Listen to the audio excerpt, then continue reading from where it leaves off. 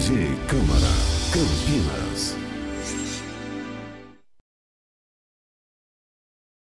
Câmara Municipal de Campinas para o segundo encontro de controladores internos do Poder Legislativo Municipal. Um evento promovido pela Escola do Legislativo de Campinas, a Elecamp, em parceria com a Controladoria Geral desta Casa de Leis. Nós convidamos inicialmente para compor a mesa de abertura o presidente desta Câmara Municipal, vereador Rafa Zimbaldi.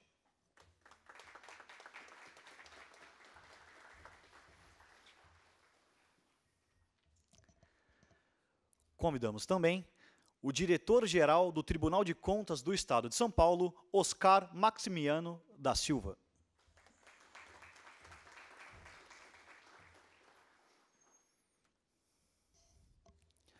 O subsecretário de Assuntos Institucionais desta Câmara, senhor Reginaldo Moretti.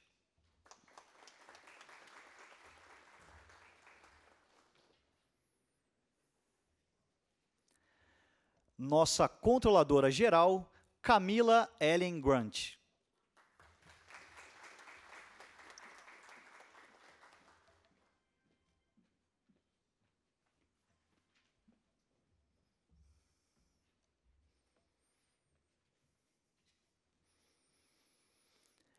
E o nosso controlador adjunto, Bruno Barbosa.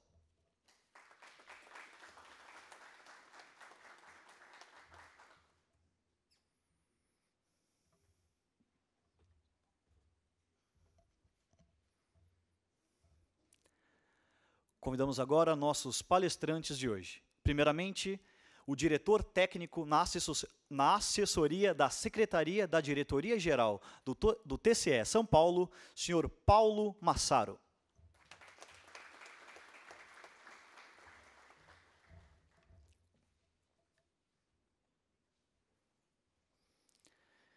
Chamamos agora o chefe da Assessoria Especial de Controle Interno do Ministério do Planejamento, Desenvolvimento e Gestão, Rodrigo Fontenelle de Araújo Miranda.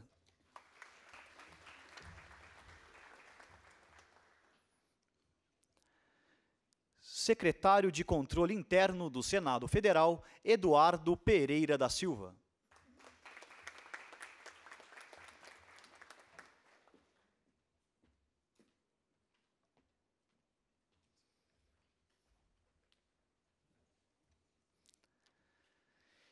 E o sócio-diretor executivo da Crossover Consulting and Auditing, Eduardo Persson Pardini.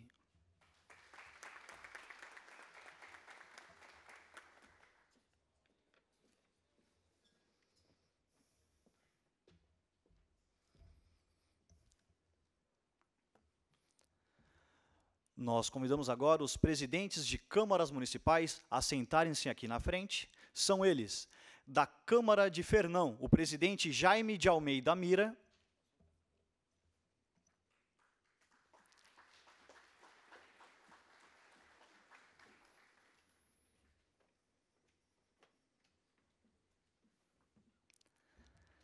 Da Câmara de Olímpia, o presidente Luiz Gustavo Pimenta.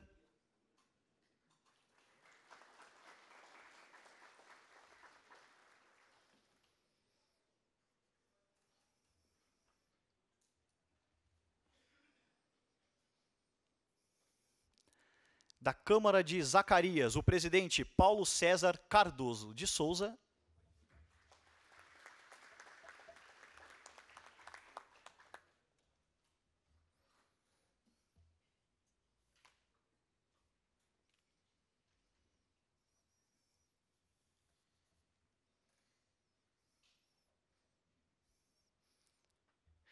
De Biritiba Mirim, o presidente Lourival Bispo de Matos.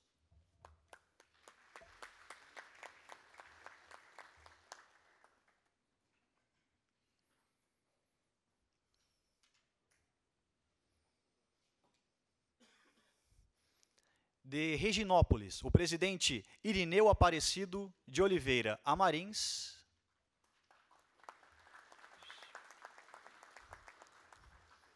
Acho que o presidente Irineu está chegando. De Monte Alegre do Sul, o presidente João Luiz de Souza Júnior.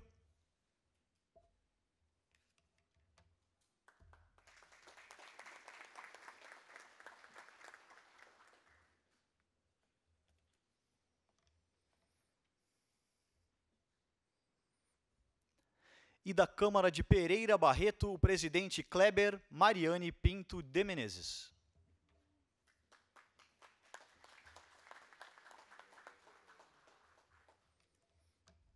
Também ainda não chegou. Nós convidamos inicialmente para fazer uso da palavra o diretor-geral do TCE São Paulo, Oscar Maximiano da Silva. Bom dia a todos. É, inicialmente, gostaria de fazer, com todo respeito, uma pequena correção ao mestre de cerimônias. Eu não sou diretor-geral do Tribunal de Contas, eu sou diretor, apenas o diretor da Regional de Campinas. Tá? Feito esse pequeno registro. É, inicialmente, quero dizer que fico muito feliz em vê-los aqui, porque se vocês estão aqui hoje é para buscar uma informação, um aprendizado sobre como implantar com efetividade um sistema de controle interno. Nós sabemos que nos últimos anos, aquela cultura que vigorou durante muitas décadas no nosso país a respeito do controle interno, como o dedo duro, graças a Deus está acabando. Né? Hoje o controle interno é visto como um órgão até de auxílio na gestão do gestor. Para dar um exemplo aqui, imagino o Rafa Zimbaldi, presidente da Câmara Municipal de Campinas, uma Câmara imensa, um município com mais de um milhão de habitantes. Ele está lá no gabinete dele despachando, não tem a mínima condição técnica, humana, de saber o que está acontecendo em cada departamento capilarizado desta Câmara. Então, o sistema de controle interno vai buscar as informações do que está acontecendo, vai levar ao conhecimento do gestor, do presidente da Câmara, nesse caso, e ele vai tomar as providências de sua alçada, se resguardando de estar descumprindo a lei, de estar descumprindo uma orientação do Tribunal de Contas. Então, é muito bom que existam esses eventos, igual está acontecendo hoje, e que os senhores estejam sempre presentes nele. Né? Eu acho que hoje os senhores terão aqui um, um curso de excelência. O gabarito dos, dos palestrantes é do mais altíssimo nível. Aí o Tribunal de Contas procurou também melhor, mandar o, o, seu melhor quadro em matéria de controle interno, que hoje é o Paulo Massaro, estudioso da matéria, entre outras matérias, mas acabou se tornando um especialista em controle interno. Então, o Paulo Massaro vai trazer para vocês uma notícia de como o Tribunal de Contas atua em relação ao controle interno, vai trazer alguns casos práticos que vai certamente é, trazer uma experiência interessante para os senhores. Então, eu acho que hoje nós teremos um dia de grande aprendizado, de grande troca de informações. Eu desejo a todos um ótimo dia de trabalho. E agradeço mais uma vez à Elecamp e ao presidente Rafa Zimbaldi a oportunidade deste evento. Muito obrigado a todos.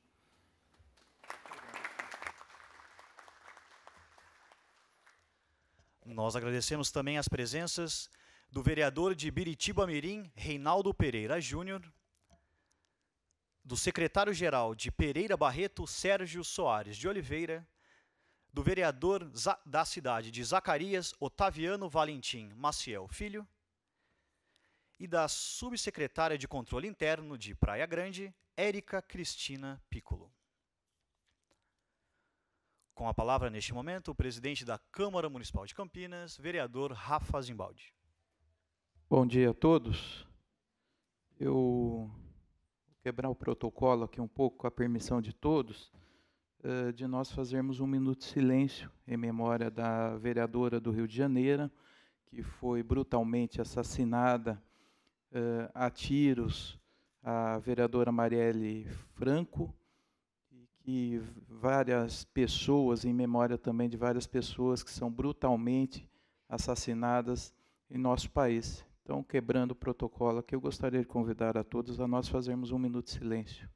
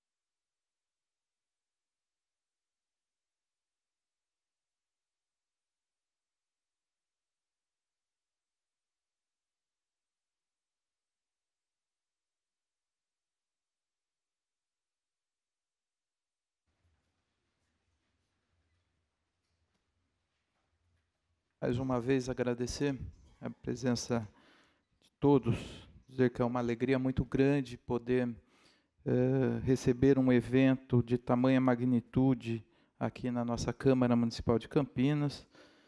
Uh, cumprimentar o nosso diretor regional aqui de Campinas, uh, Oscar Maximiliano. Oscar, quero te agradecer e parabenizar pelo trabalho do Tribunal de Contas, agradecer aí uh, a possibilidade e os espaços que o Tribunal de Contas tem aberto ao Poder Legislativo campineiro, uh, tenho certeza também de toda, toda a nossa região, que o Tribunal de Contas hoje sempre foi, eu sempre gosto de repetir isso em todos os eventos que nós temos. O Tribunal de Contas sempre foi tido como, eh, como algo eh, pesadelo né, dos agentes públicos. E quero reconhecer o trabalho do Tribunal de Contas dizendo o seguinte, que hoje o Tribunal de Contas tem sido muito parceiro dos órgãos públicos, orientando, ajudando, eh, não só o Poder Legislativo, mas também os poderes executivos aqui da nossa região. E aí estendo também a todos os funcionários do Tribunal de Contas esse cumprimento, também a diretoria eh, de Araras, que, que é o responsável pela fiscalização aqui da cidade de Campinas, mas agradecer, Oscar, todo esse trabalho e parceria, e dizer que a Câmara Municipal sempre estará à disposição eh, do Tribunal de Contas para eventos como este que nós estamos realizando hoje. Cumprimentar e agradecer o Reginaldo Moretti, nosso subsecretário de Assuntos Institucionais, e responde também pela Escola Legislativa, que neste ato também em parceria com o Tribunal de Contas realiza este evento. A nossa controladora geral, a Camila, obrigado Camila pela presença, agradeço e parabenizo pelo trabalho da nossa controladoria aqui na Câmara Municipal de Campinas, estender esse cumprimento ao Bruno, que compõe a mesa aqui, que é o nosso controlador adjunto, também os nossos auditores, o Ricardo Poiani, o Paulo José da Silva.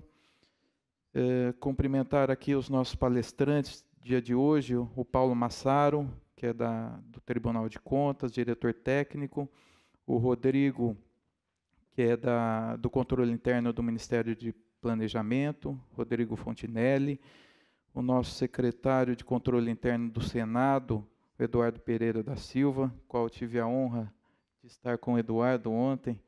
Foi um prazer muito grande recebê-lo. Tivemos as informações sobre o Senado, todo o trabalho do controle interno do Senado. A Câmara, a Câmara se torna um grãozinho, a Câmara de Campinas se torna um grãozinho perto da, do, do Senado brasileiro. Orçamento de 4, 4 bi, né? 4 bilhões. Então, parabenizar o trabalho do, do Eduardo, do Alberto, que está aqui também, que é lá do Senado, e também o, o sócio-diretor da Crossover, o Eduardo Pardini. Agradecer, Eduardo, pela, pela presença. Cumprimentar aqui de maneira especial os nossos presidentes de Câmara, vereadores, aqui o Jaime de Almeida, de Fernão, o Luiz Gustavo de Olímpia, o Paulo César de Zacarias, o Lorival Bispo de Matos de Biritiba Mirim, uh, o João Luiz de Monte Alegre do Sul e o Kleber Mariane de Pereira Barreto. Agradecer a todos os presidentes, vereadores aqui presentes, autoridades, poder executivo aqui representado, poder legislativo aqui representado da nossa região. Dizer que é uma honra é, recebê-los. E dizer um pouquinho do controle interno aqui da Câmara Municipal de Campinas, que é o que nós estamos vivenciando. Eu, eu tenho visto ah, nas, no, nos nossos contatos entre câmaras municipais e até mesmo com, com prefeitos, que muitas vezes o agente político, o, agente, o mandatário, ele tem medo de instituir o controle interno, dizendo, imaginando de que o controle interno serve para fazer a denúncia contra o agente público, e não é verdade. E aí eu quero reconhecer o trabalho do controle, eh, dos controladores, dos auditores, né, que hoje é uma ferramenta muito importante para o agente político. Porque, como o Oscar disse, da dificuldade que temos né, em, em administrar, fazer política e analisar cada problema que nós temos, no caso nós aqui na Câmara Municipal de Campinas, com vários contratos, eh, aqui se torna impossível. Né? E, esse, e essa assessoria, esses apontamentos, né, essas auditorias é feito pelo controle interno. E isso serve para nos orientar e para nos ajudar, para que amanhã ou depois não chegue as contas lá no Tribunal de Contas e o Tribunal de Contas diz o seguinte: não, nós vamos rejeitar porque nós tivemos problemas em vários contratos. E isso, os, os presidentes de Câmara aqui sabem da dificuldade que nós temos eh, em analisar cada contrato, de analisar cada funcionário contratado daquela, daquela empresa. Então é importante, eu quero reconhecer aqui o trabalho do controle interno, logicamente que ele tem a sua função em caso eh, eh, de não manifestação do, do agente político, do, do, mandatário, do administrador, logicamente tem a, a, a obrigação de informar Ministério Público, Tribunal de Contas, mas eh, o controle interno é um órgão de assessoria aos mandatários, né, ao agente político. Eh, então, quero reconhecer aqui o trabalho do controle interno e dizer da importância eh, do controle interno para todos, para todas as esferas. E aqui na Câmara Municipal de Campinas tenho que agradecer os apontamentos feitos existe tempo para nós corrigirmos, né, Oscar? Então, isso, isso é importante. Então, essa assessoria é importante. Então, reconhecendo aqui o trabalho de todos os controladores e auditores. Quero desejar uma boa palestra a todos, dizer que a Câmara Municipal de Campinas, tanto a Câmara, a estrutura da Câmara e a Escola do Legislativo, sempre estará à disposição para eventos importantes como este. Muito obrigado, que Deus abençoe e uma boa palestra a todos.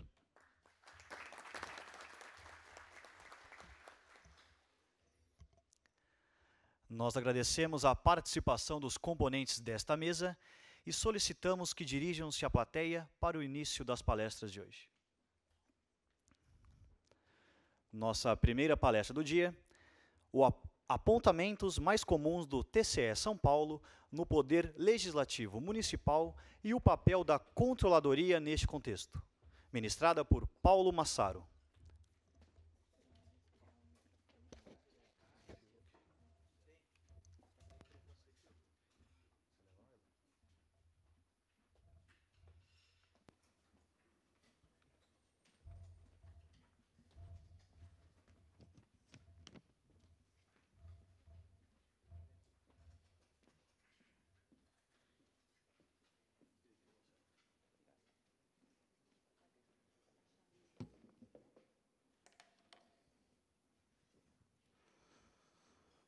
Bom dia. Bom dia. É um imenso prazer revê-los. Iniciamos esse uma primeira série desses encontros, desse tipo de encontro em Louveira, a convite do Dr. Eliel, do professor Pupo da Câmara de, de Louveira, e combinamos em repetir novamente mais uma série dessa e aqui estamos.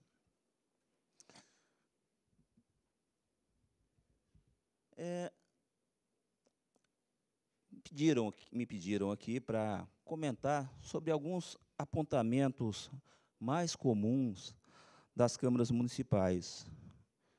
Eu sei que eu vou ficar bastante confortável, até fiz uma parte introdutória sobre alguns conceitos, definições, riscos, mas certamente eu não terei necessidade de me aprofundar, porque depois tem especialistas da, da mais, do mais alto gabarito e que certamente compartilharão e debaterão sobre isso, mas eu vou fazer umas pequenas introduções sobre conceitos, definições, só para ter é, para fazer uma horizontalização aqui da nossa conversa, da, da nossa conversa. E eu vejo aqui que tenho bastante alguns conhecidos e até de outras cidades aqui que aqui vieram e eu fico bastante satisfeito com isso. Mas vamos lá. Fazendo em, uma, uma, uma breve noção sobre controle, não, não há como você ter uma ideia de controle sem ao menos você ter a ideia do que você pretende, da, uma, da finalidade, do objetivo. Porque, ou seja, para se ter uma ideia de controle, a necessidade de atuação do controle, nós temos primeiro ter a ideia de objetivo. E objetivo nós conseguimos quando? Quando nós temos a, a, a visão de objetivo, quando nós nos planejamos, nós estabelecemos metas, finalidades. Sejam aquelas finalidades, vamos ver, de, de, de alto, é, de alto alcance, como, como fala, falaremos na administração pública, é, objetivos estratégicos ou de macro-objetivos, nós temos objetivos, sejam eles grandes, pequenos ou médios, traçando na administração pública macro-objetivos ou atingir indicadores né, de satisfação social ou de, é, de resolução de problemas sociais ou financeiros. Enfim, nós temos objetivos, temos indicadores e temos metas, temos algo para alcançar, construir, fazer, prestar um serviço público com eficiência, qualidade e economicidade. Perfeito? Não é para isso que a administração serve? Então, isso são objetivos traçados antes, como? Por meio do planejamento. Com isso, eu quero dizer o quê? Que não se tem a ideia de controle sem antes ter muito claro, muito claro a questão de objetivos, de planejamento, essencialmente. Não se faz um bom controle sem um bom planejamento. Essa é a ideia que tem que se partir. Não há como controlar algo que você não sabe onde você vai chegar. Entenderam? Então, daí a importância, muitas vezes, do controle interno atuar preventivamente na correção, principalmente, sobretudo, na questão das peças de planejamento, quando nós falamos de orçamento. Mas não é só isso. O controle interno não tem só essa atuação. Tá? Então, para se atingir o objetivo, nós temos a noção que é é necessário um bom planejamento, uma boa definição de metas e de indicadores. Agora, para chegar nesse, no final desse caminho, no final dessa, tra dessa trajetória, nós temos o que? Riscos. Nós temos riscos. Temos riscos de, da mais variada espécie, riscos associados a tempos, a tempo, um fator temporal de demorar uma obra ou um serviço não ser executado dentro do tempo estimado. Nós temos riscos financeiros, riscos orçamentários, ou não temos isso? Acho que quase não temos, né? Ainda não temos, não, né? 2015, 2016, PIB negativo, 2017 com uma pequena, é, teve uma, uma, pequena recuperação. Então, nós temos riscos das, da mais alta ordem, financeiros, orçamentários, de restrições. Aqui, para a Câmara Municipal, por exemplo, riscos de imagem, né? riscos de conformidade ou riscos decorrentes do atendimento a limites legais, a condições legais, riscos tecnológicos, riscos operacionais ligados à falta de procedimentos, de sistemas, de, de métodos, enfim, de ter a organização administrativa colocada, posta, adotada de forma corporativa. São exemplos de riscos que nós temos aí para se atingir esse objetivo, nós sabemos que há riscos, aí a necessidade de controle. Um controle para quê? Para, ora, ou para combater ou mitigar esses riscos, ter um nível aceitável de aderência aos tipos de riscos. Tem riscos que a gente tem que aceitá-los né, e reduzi-los a um nível super, suportável. Não há como aumentar a arrecadação é, no, no que se diz as transferências federais ou estaduais, correto? Não há como aumentar esse tipo de, diminuir esse tipo de risco. Nós podemos é, diminuir riscos naquilo que nós temos gerência, governança própria. E é isso, é nesse ponto que o controle interno vai atuar, ter a noção de riscos. Tendo a noção de riscos, vai se poder assessorar o gestor, o ordenador, de forma adequada. É dessa forma que é, é a importância do controle interno se dá a partir do momento que você tem noção de onde você vai chegar, das suas metas, dos seus objetivos definidos, quais os riscos associados a esse, ao atingimento desses objetivos que, que você tem, aí, a partir daí, você vai passar, o controlador vai começar a ter a ideia do que vai se fazer. E são os riscos que eu já havia mencionado, conformidade operacional, contábil, de imagem, tecnológico, ou até mesmo riscos ambientais. Os riscos são é, da mais variada ordem, dependendo do tipo da característica, da qualidade, do tipo da característica de cada entidade. Para algumas mais, para algumas menos. Eu vou colocar só uma definição para ter uma ideia de sistema, vamos falar de sistema de, vamos falar agora um, sobre uma definição de sistema de controle interno, não uma definição de controle interno em si.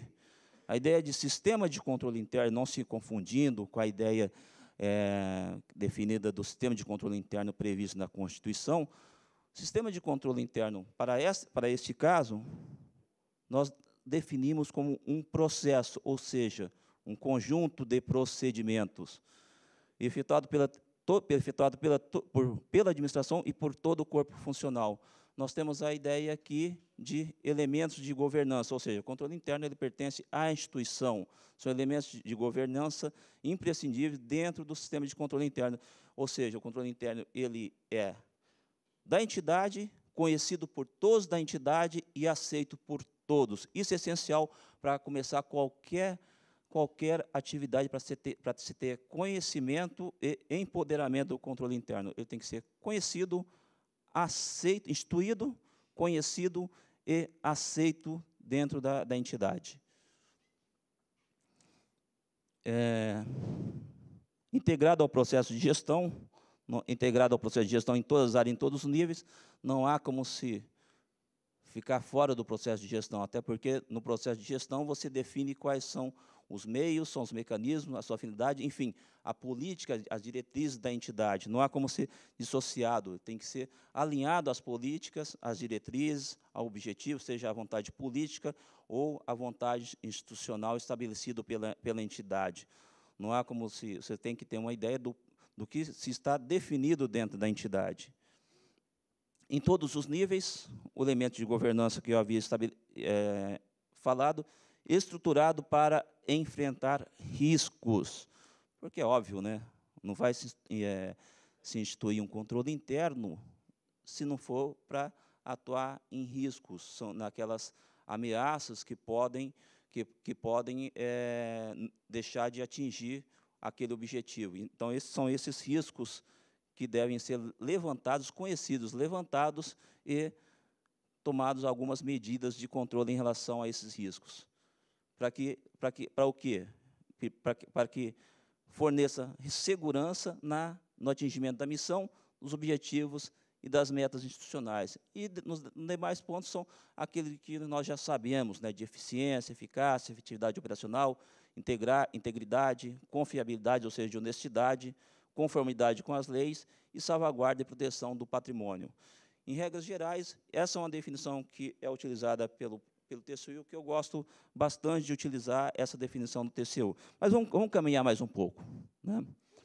Tem outras definições aqui do adotado pelo, Comitê de Entidades Patrocinadas aqui, do COSO 1, também é muito semelhante, é muito semelhante, e também da NBCT, é, mais propriamente aqui para nós, como uma norma de é, uma norma contábil, a NBCT 16.8, que fala que mais ou menos reproduz aquelas definições do, de sistema de controle interno do TCU e também do COSO 1, que abrange conjunto, ou seja, um processo né, de recursos, métodos, procedimentos e processos adotados pela entidade do setor público com a finalidade de salvaguardar o patrimônio, dar conformidade, propiciar a obtenção de informação oportuna e adequada, enfim, estimular a adesão, contribuir para a promoção da eficiência operacional e auxiliar na prevenção de práticas ineficientes e, e antieconômicas.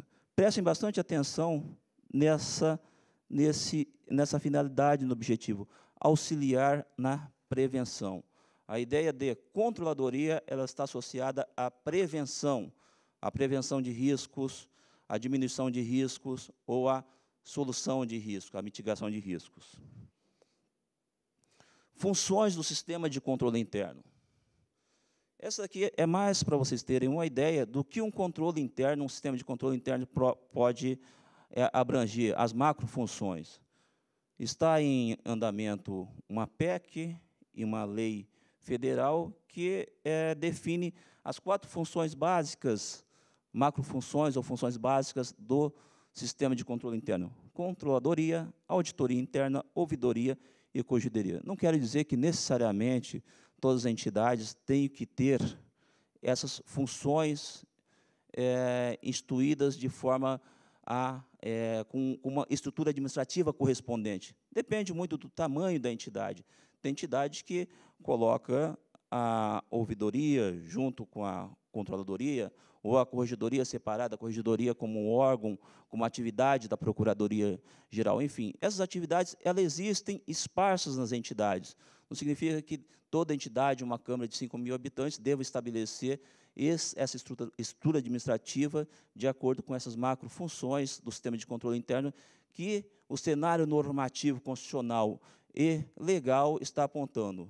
Só para vocês terem uma ideia de como o cenário normativo, é, o cenário nacional, no que se refere à legislação, ela está apontando. Ela está apontando que o sistema de controle interno vai ter minimamente essas quatro funções e o corpo funcional estruturado como um órgão de carreira de provimento efetivo.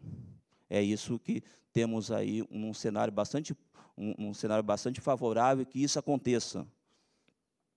Assim espero, né, meus colegas do Senado, me parece que esse cenário, mas em falando de cenário normativo no Brasil, talvez demore um pouco mais, um pouco menos, mas acho que não há como fugir disso, até em função do próprio, do próprio cenário político que o Brasil se encontra. São as PECs que eu falei, a PEC 45 e a PLS 242-2009, que estabelecem, dentre outras, né, prever essas macrofunções e também as ações que o controle interno de, de, deva adotar, de forma que a profissionalizar o controle interno. Eu não vou adentrar muito nisso, até porque meu foco não é esse, é apenas para nivelar o conhecimento de forma geral. Tá? A PEC, o que a PEC fala, vai estar acrescentando um inciso, aliás, passa a vigorar um inciso, um inciso 23 ao artigo 37, juntamente com os demais princípios da administração pública. E isso daqui é só um resumo do que a NBCT 16.8 coloca como sistema de controle interno que compõe, quais são as estruturas e componentes. Eu não vou entrar nesse ponto, tá? Mas fala o quê? Desses cinco componentes básicos, eu tenho certeza, eu acho, aliás, eu acho que os meus colegas vão abordar sobre isso, não vão? Por isso que eu, eu não errei na minha, né, que quando eu falei que viria assim autoridades do, do mais alto gabarito para discorrer sobre isso. Mas só vou sucintamente falar que tem esses cinco, essa, a estrutura do controle interno composta por ambiente de controle, mapeamento avaliação de risco, procedimentos de controle, informação e comunicação e monitoramento. Isso nada mais é do que um processo.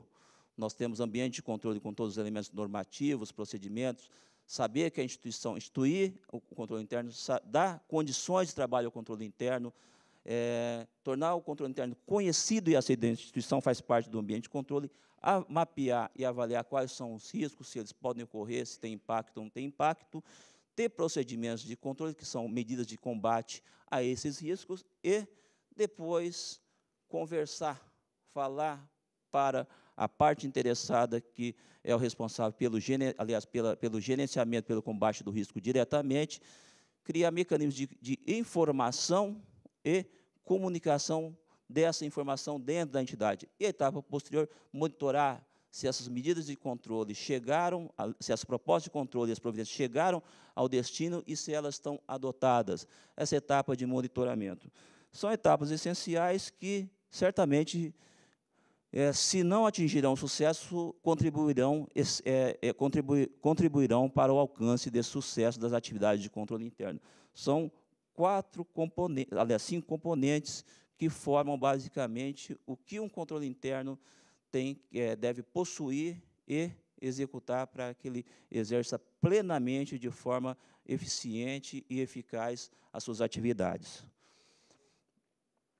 Eu só é, eu acho bastante interessante é, quando se fala em instituir um controle interno, o primeiro passo é normatizar, né, elaborar um projeto de lei ou uma resolução legislativa colocando os objetivos gerais, definindo o que é controle interno, o que é relatório de auditoria, atribuir as responsabilidades da unidade de controle interno, se é que você tem condições de criar uma unidade de controle interno, em muitas situações, o controle, o, o controle interno é composto por uma pessoa só, basicamente.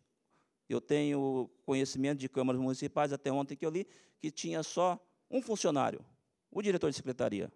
Só um funcionário. Ele fazia tudo. Um só funcionário. Fazer o quê? Vai acumular as funções. O município tem 2 mil habitantes, 200, 300 mil reais de dotação ou de orçamento da Câmara, como que dá para fazer? Não dá, né? 300 mil reais, um funcionário. Então, temos realidade no universo do, Brasil, do, do Estado de São Paulo de 645 cidades e no universo ainda tem uma, uma diversidade bastante grande, falando em termos de Brasil, de 5.570 cidades. Enfim, mas é necessário que estabeleça as responsabilidades, estabeleça os objetivos gerais, que são a reprodução do artigo 70, 71. Só um detalhe, quando vocês fizerem, não, não reproduzam o que só o que está na Constituição. Defina também objetivos específicos, nem que seja um pouco caráter mais geral, mas para dar o quê? Para dar as competências e atribu atribuições até uma certa liberdade, né, autonomia para o controle interno atuar. Né? Definir que, por exemplo, pode-se fazer é, atividade de controladoria ou auditoria em execução de obras, em acompanhamento de programas governamentais, a legislação não deixa muito claro sobre isso, mas atribua no órgão, na, lei específica. Esse é um elemento de governança essencial para, para que se comece a dar certo, comece o primeiro passo para um controle interno. E, óbvio, né, as responsabilidades das unidades executoras ou das unidades administrativas. O que significa isso?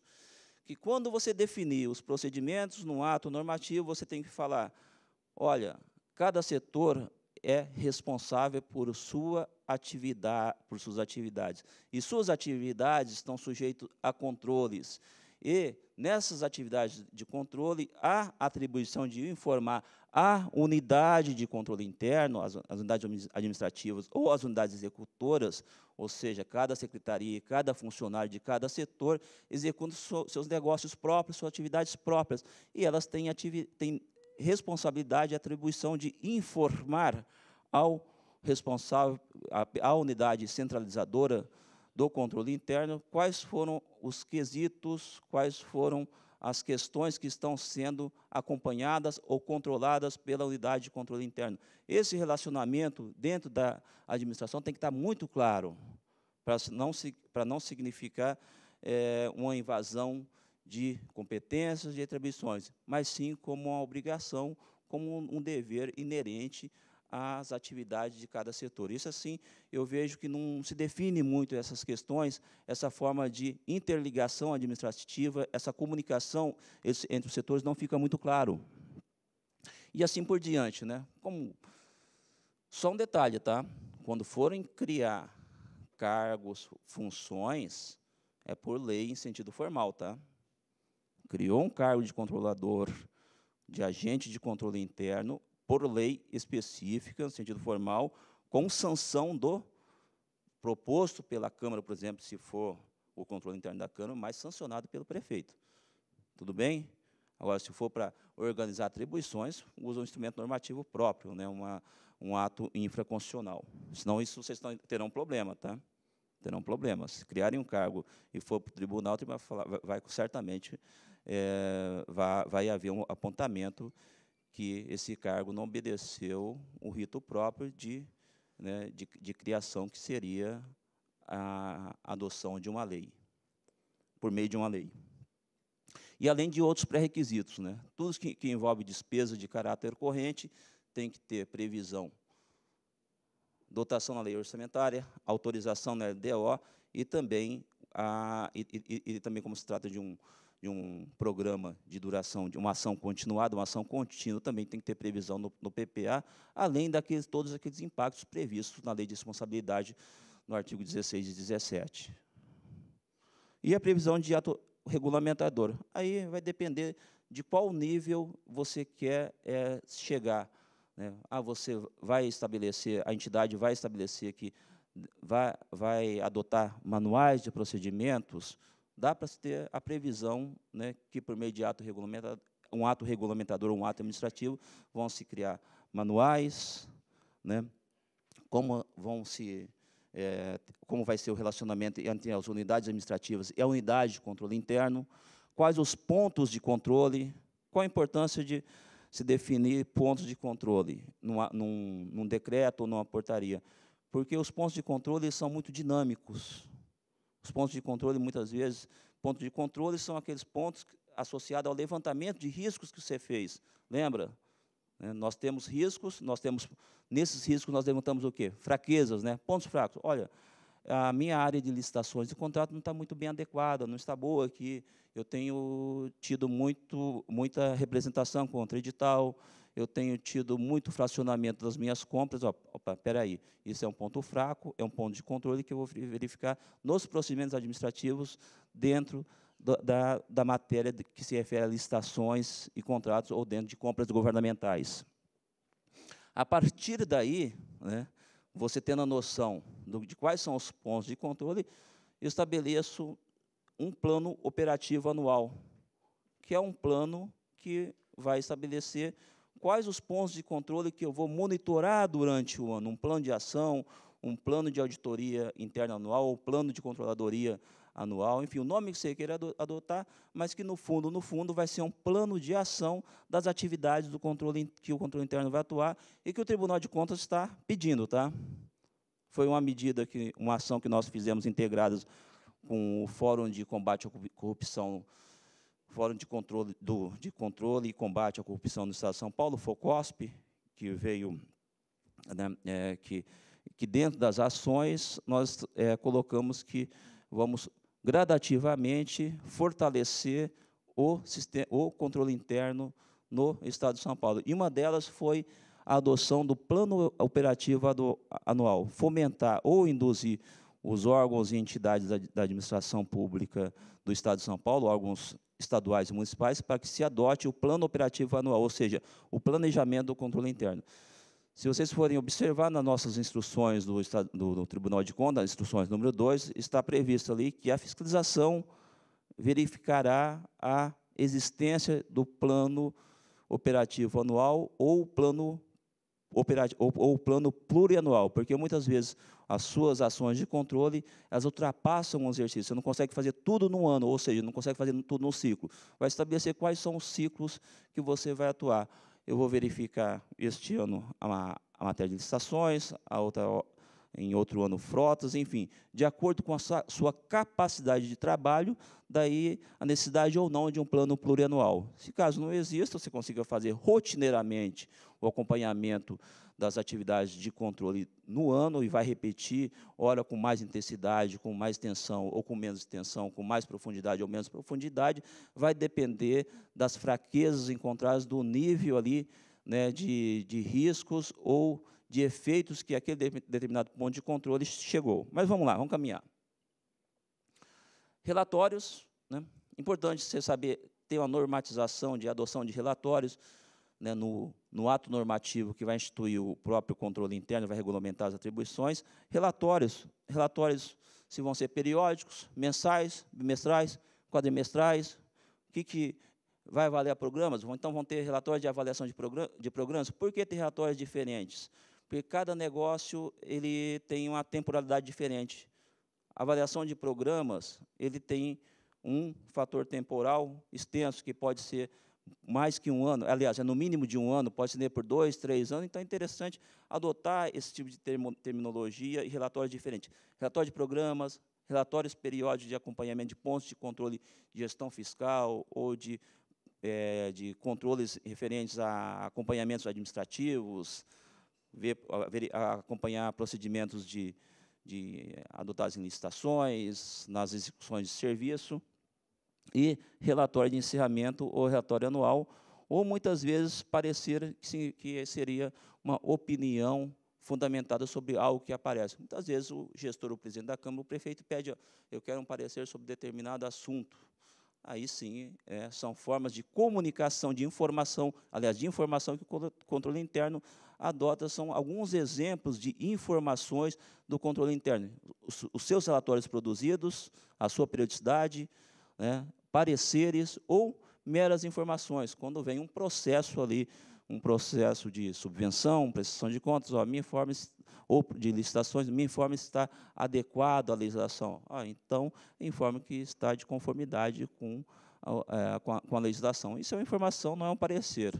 Né? O parecer já exige uma demanda maior, uma opinião fundamentada do controlador. Embora, vamos caminhar. Outras formas de comunicação, isso pode ser adotado, forma de ofício, memorandos, circulares, portarias, notas técnicas. Tá? Agora vamos chegar. É, o que, que, o Tribunal de Contas verifica, verificará e está verificando já? Se foi instituído, se há planejamento das atividades do controle interno em plano operativo anual, plurianual, isso está nas instruções, é obrigatório, tá? Se produz relatório, qual o conteúdo dos relatórios, qual a periodicidade, se foi encaminhado ao gestor e aos setores relacionados à falha e se o gestor determinou providências. Tribunal de Contas está verificando isso por hora. Não está entrando ainda na questão se há um sistema de controle interno é, elaborado com essas quatro funções básicas, né?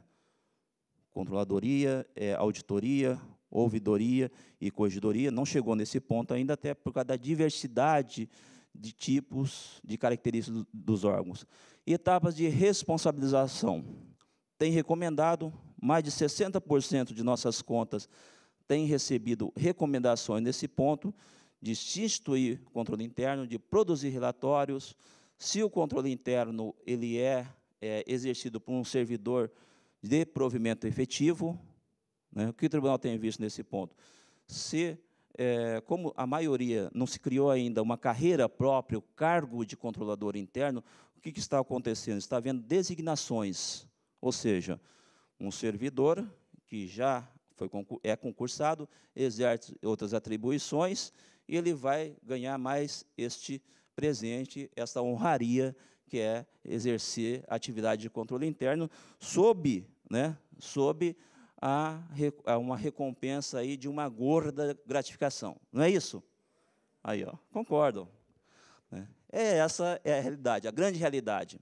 Nós temos aí é, em torno de é, 87% que são designados, apenas assim para ter um, um, um, panorama da realidade dos, dos municípios. 87% um diagnóstico realizado que é, criaram, é, que tem, um, tem, aliás, 13% que tem a carreira mesmo de controlador. Os demais, 87%, a grande maioria, quase 90%, ainda é por servidores é, efetivos. Nós estamos aceitando isso por hora, desde que essa designação recaia sobre um servidor de carreira, não que recaia sobre um servidor de livre provimento, de um cargo em comissão. Isso não temos aceitado, nós temos apontado isso como uma irregularidade dentro das, é, dentro das, da análise das contas. Que tem ocorrido no primeiro ponto?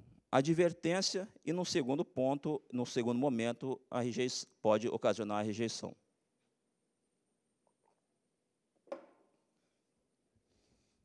Quanto tempo eu tenho? Nelly?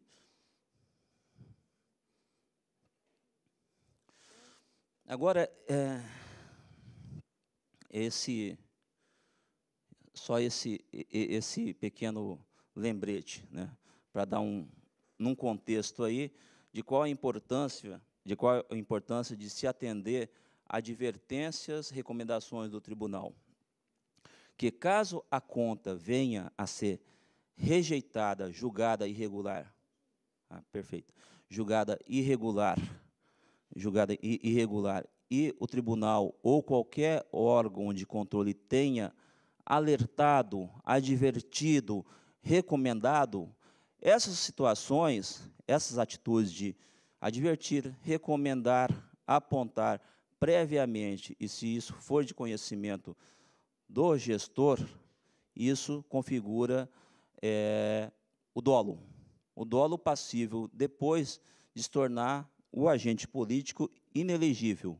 Isso né, já foi, é, é uma, teve decisões nesse sentido, que essas atuações, por exemplo, os alertas que são recebidos de gestão fiscal. Nós temos um procedimento chamado um procedimento de acompanhamento de acessório de, de acompanhamento de gestão fiscal, onde nós alertamos, ó, a execução orçamentária está aquém, é, aquém do previsto, as receitas arrecadadas estão aquém da previsão, ou a execução orçamentária entre receitas e despesas está com um desnível aí, cuja tendência é terminar em déficit orçamentário. Nós emitimos um alerta quando chega um percentual de diferença de 1,5%, 1,5% de diferença, é emitido um alerta pelo próprio sistema, por meio do qual, é, um, um, por meio do qual que é, aliás, acionado por meio das entregas mensais dos balancetes contábeis que os senhores enviam, tanto as prefeituras e câmaras, recebem é, alertas automáticos dentro do sistema. Nós colocamos, basicamente, temos é, análises mensais e, dependendo do tipo de apontamento, do tipo de análise, tiver uma tendência a um descobrimento de execução, despesa com pessoal, de limite de endividamento, o sistema, ela, o sistema emite alertas, e esse alertas entra nesse contexto aqui de, aqui de, de, de, de dolo, o dolo fica evidenciado pelo respeito a leis e princípios administrativos, como, pelo, pelo, como também pela inobservância à alerta do próprio Tribunal de Contas. Isso são exemplos, mas pode ser também qualquer recomendação em decorrência de é, recomendações de contas de exercícios anteriores. Aí não tem sido aceito que ó, isso daqui foi do foi é, atribuição da contabilidade, é atribuição do controle interno, a responsabilidade recai sobre, sobre o gestor. E certamente o, o controlador ou contador passou isso, né, passou isso para ordenador. Se todo doutor providência ou não, mas é de conhecimento. Presume-se que é de conhecimento e fica evidenciado o dolo. Apontamentos de câmaras municipais. Eu coletei aqui os top 7 em apontamentos em nossas contas. Né? Planejamento, no item de planejamento. Mas item de planejamento é um ponto fraco nas câmaras municipais? Não muito, porque geralmente as câmaras municipais têm só um programa, ou dois, né? Um programa de manutenção, manutenção legislativa, não é isso? Tem um ou dois programas ali. Só que é o seguinte, a prefeitura não. A prefeitura tem dezenas ou até centenas de programas, né? Ou até mesmo a prefeitura propõe uma coisa que todo mundo sabe aí. Sempre vê lá no artigo quase final. Autorizo, fica autorizado o limite de abertura de créditos adicionais até o limite de, vamos lá, 5%, 10%, 10%, 15%, até 20%? Mais ou menos é isso, né? Oi? É. É de, de alteração de créditos orçamentários, de remanejamento, né? Ou só tem que tomar cuidado, né? Transposição, remanejamento e transferência não entram nesse limite, tá?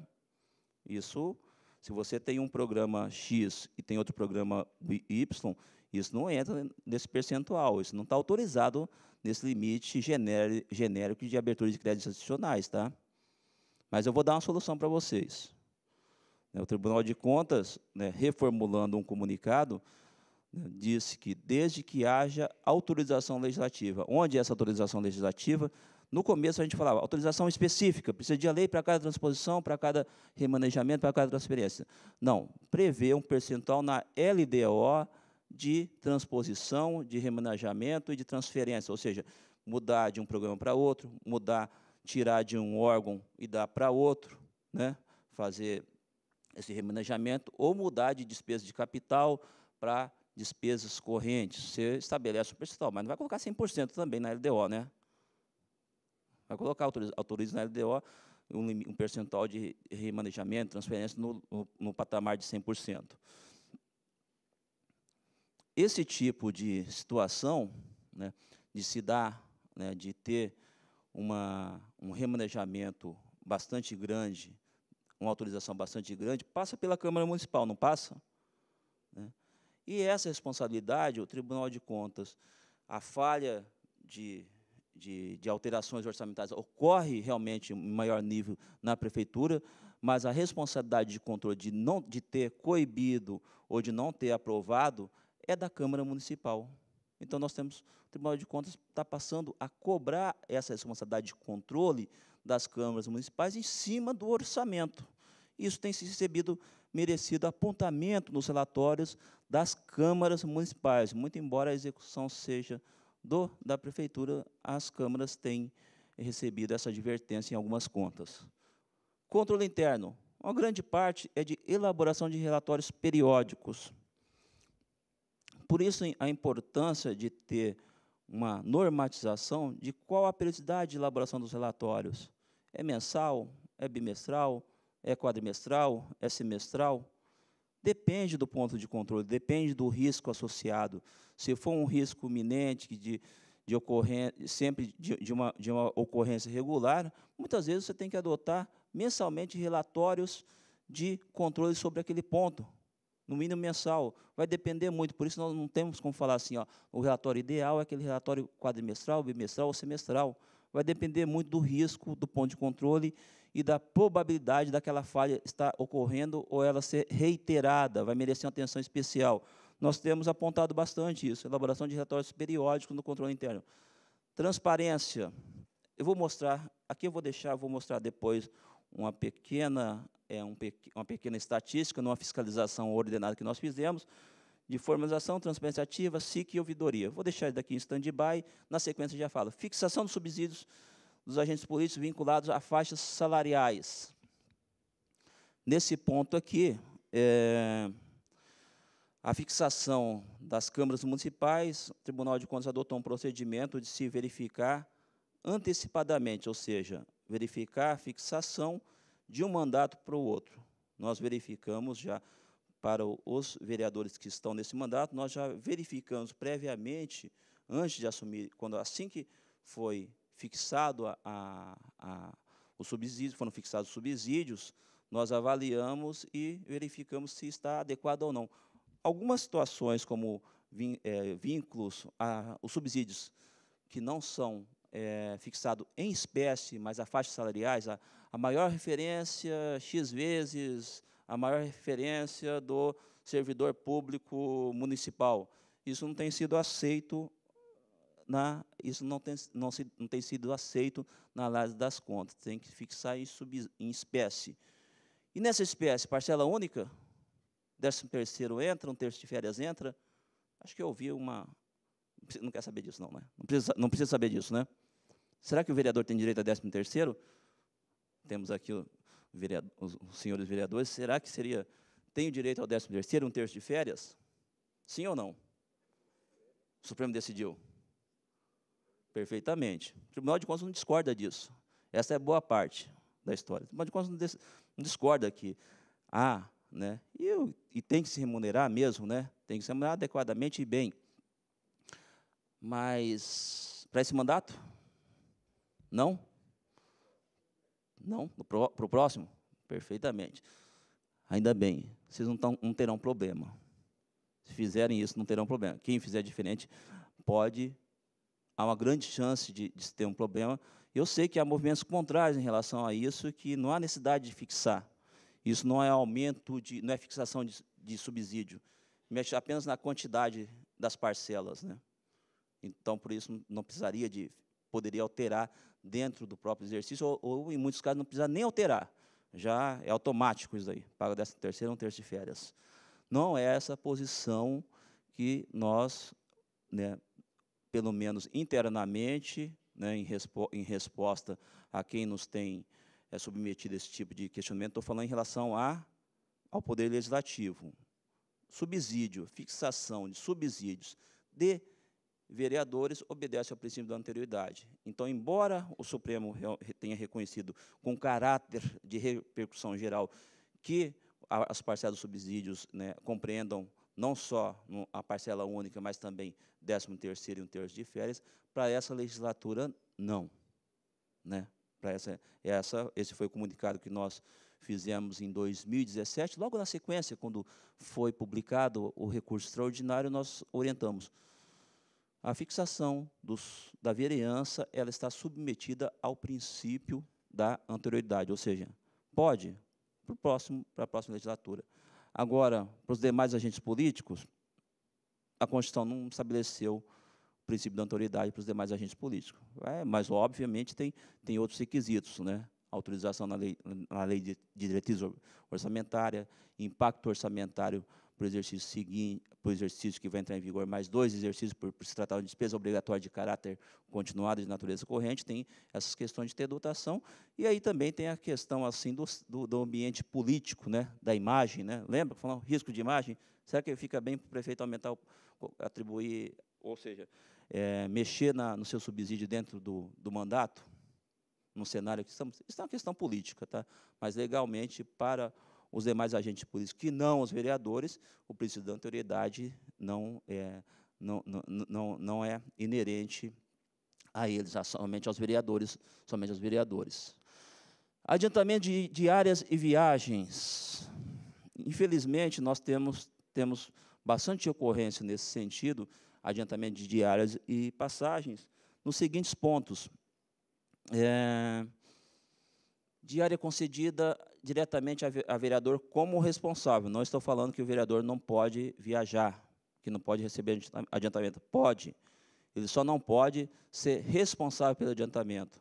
Aí vem a questão, mas vai recair onde? No servidor. Mas eu não viajo, eu tenho que ficar cobrando o vereador, o presidente de, de Câmara, eu não tenho essa, essa autonomia, né? eu tenho um laço de subordinação, mas é assim que é. Né? Só que a responsabilidade ali tem um, um, mecanismo de você vai entregar o dinheiro, toma o dinheiro aqui de um lado, e você vai receber os recibos de outro. Esse é o procedimento que tem que ser estabelecido. Isso com a obrigação dentro da, de uma resolução ou dentro de uma lei. Isso tá, tem que estar bem claro, isso é óbvio, é o mais óbvio, é, é óbvio estabelecer isso. Viagem sem autorização ou fundamentação. Nós tivemos uma operação recentemente, até operação policial, né, de viagens sendo autorizadas sem autorização ou sem fundamentação, ou seja, somente, somente ou algo do tipo assim, é uma, é uma finalidade genérica, é viagem à Assembleia, viagem ao Congresso, mas sem falar qual que era a finalidade, né, sem falar qual era a finalidade, qual era o assunto, onde estava a agenda, né, qual era a agenda, com qual parlamentar, isso não tem sido aceito, tem sido colocado como despesas impróprias para restituir ao erário. E, em muitos casos, dependendo do, do, volume, do tamanho, da quantidade, do volume do dinheiro, do, do, da espécie, tem sido motivo único e suficiente para reprovar contas, além da questão da improbidade, que não é nosso aliás, que não é na nossa esfera de competência do Tribunal de Contas, vai ser do Ministério Público, né, vai ser, enfim, ou da própria Câmara, se ela impetrar uma ação civil público, tem a questão da, da improbidade, né, de não ter assim a finalidade para a qual a viagem foi feita. E outro ponto, né, viagens feitas é, numa quantidade excessiva de parlamentares. Temos o congresso, temos congressos, alguns congressos, né? Temos um congresso agora que vai acontecer em me ajuda aí, Santos, vai ser, né? É Santos, em abril, né? A Câmara tem 13 vereadores, tem 11, vai 9. Ou vai 11. Esse patamar, embora não tenha se estabelecido qual que é um patamar ideal, 9 nós temos entendido que é muito. 9 de 1, 11 é muito. Né? Ou todos é muito para representar, para representar. E não tem só um congresso, né? Digamos ali, qual que é o interesse da Câmara, da Câmara nesses congressos? Lógico que é um contato político, temos ministro, temos secretário de Estado, né, de manter um contato, né, e qual que seria o, um limite? Temos estabelecido assim uma linha de acordo com as comissões. Quantas comissões temos na, na, na Câmara? Quatro comissões, em média? Em média são quatro, né? Constituição e Justiça, enfim, a média de quatro entendemos assim como razoável um representante de cada comissão.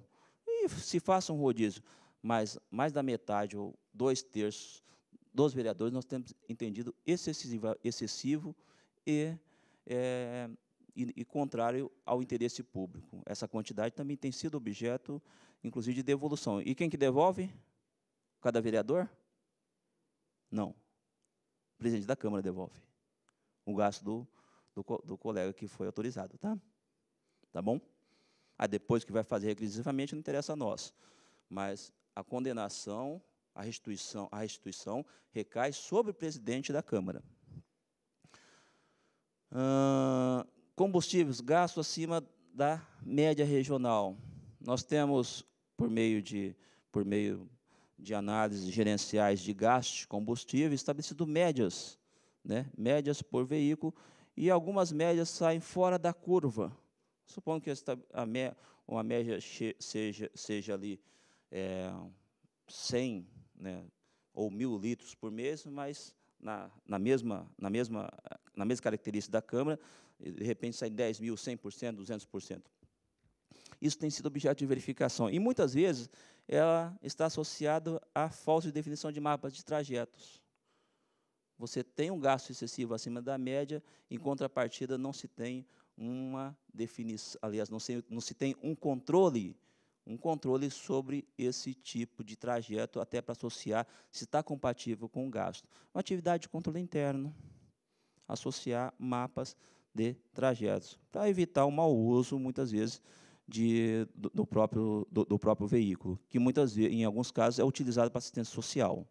Incrivelmente, é a isso, né?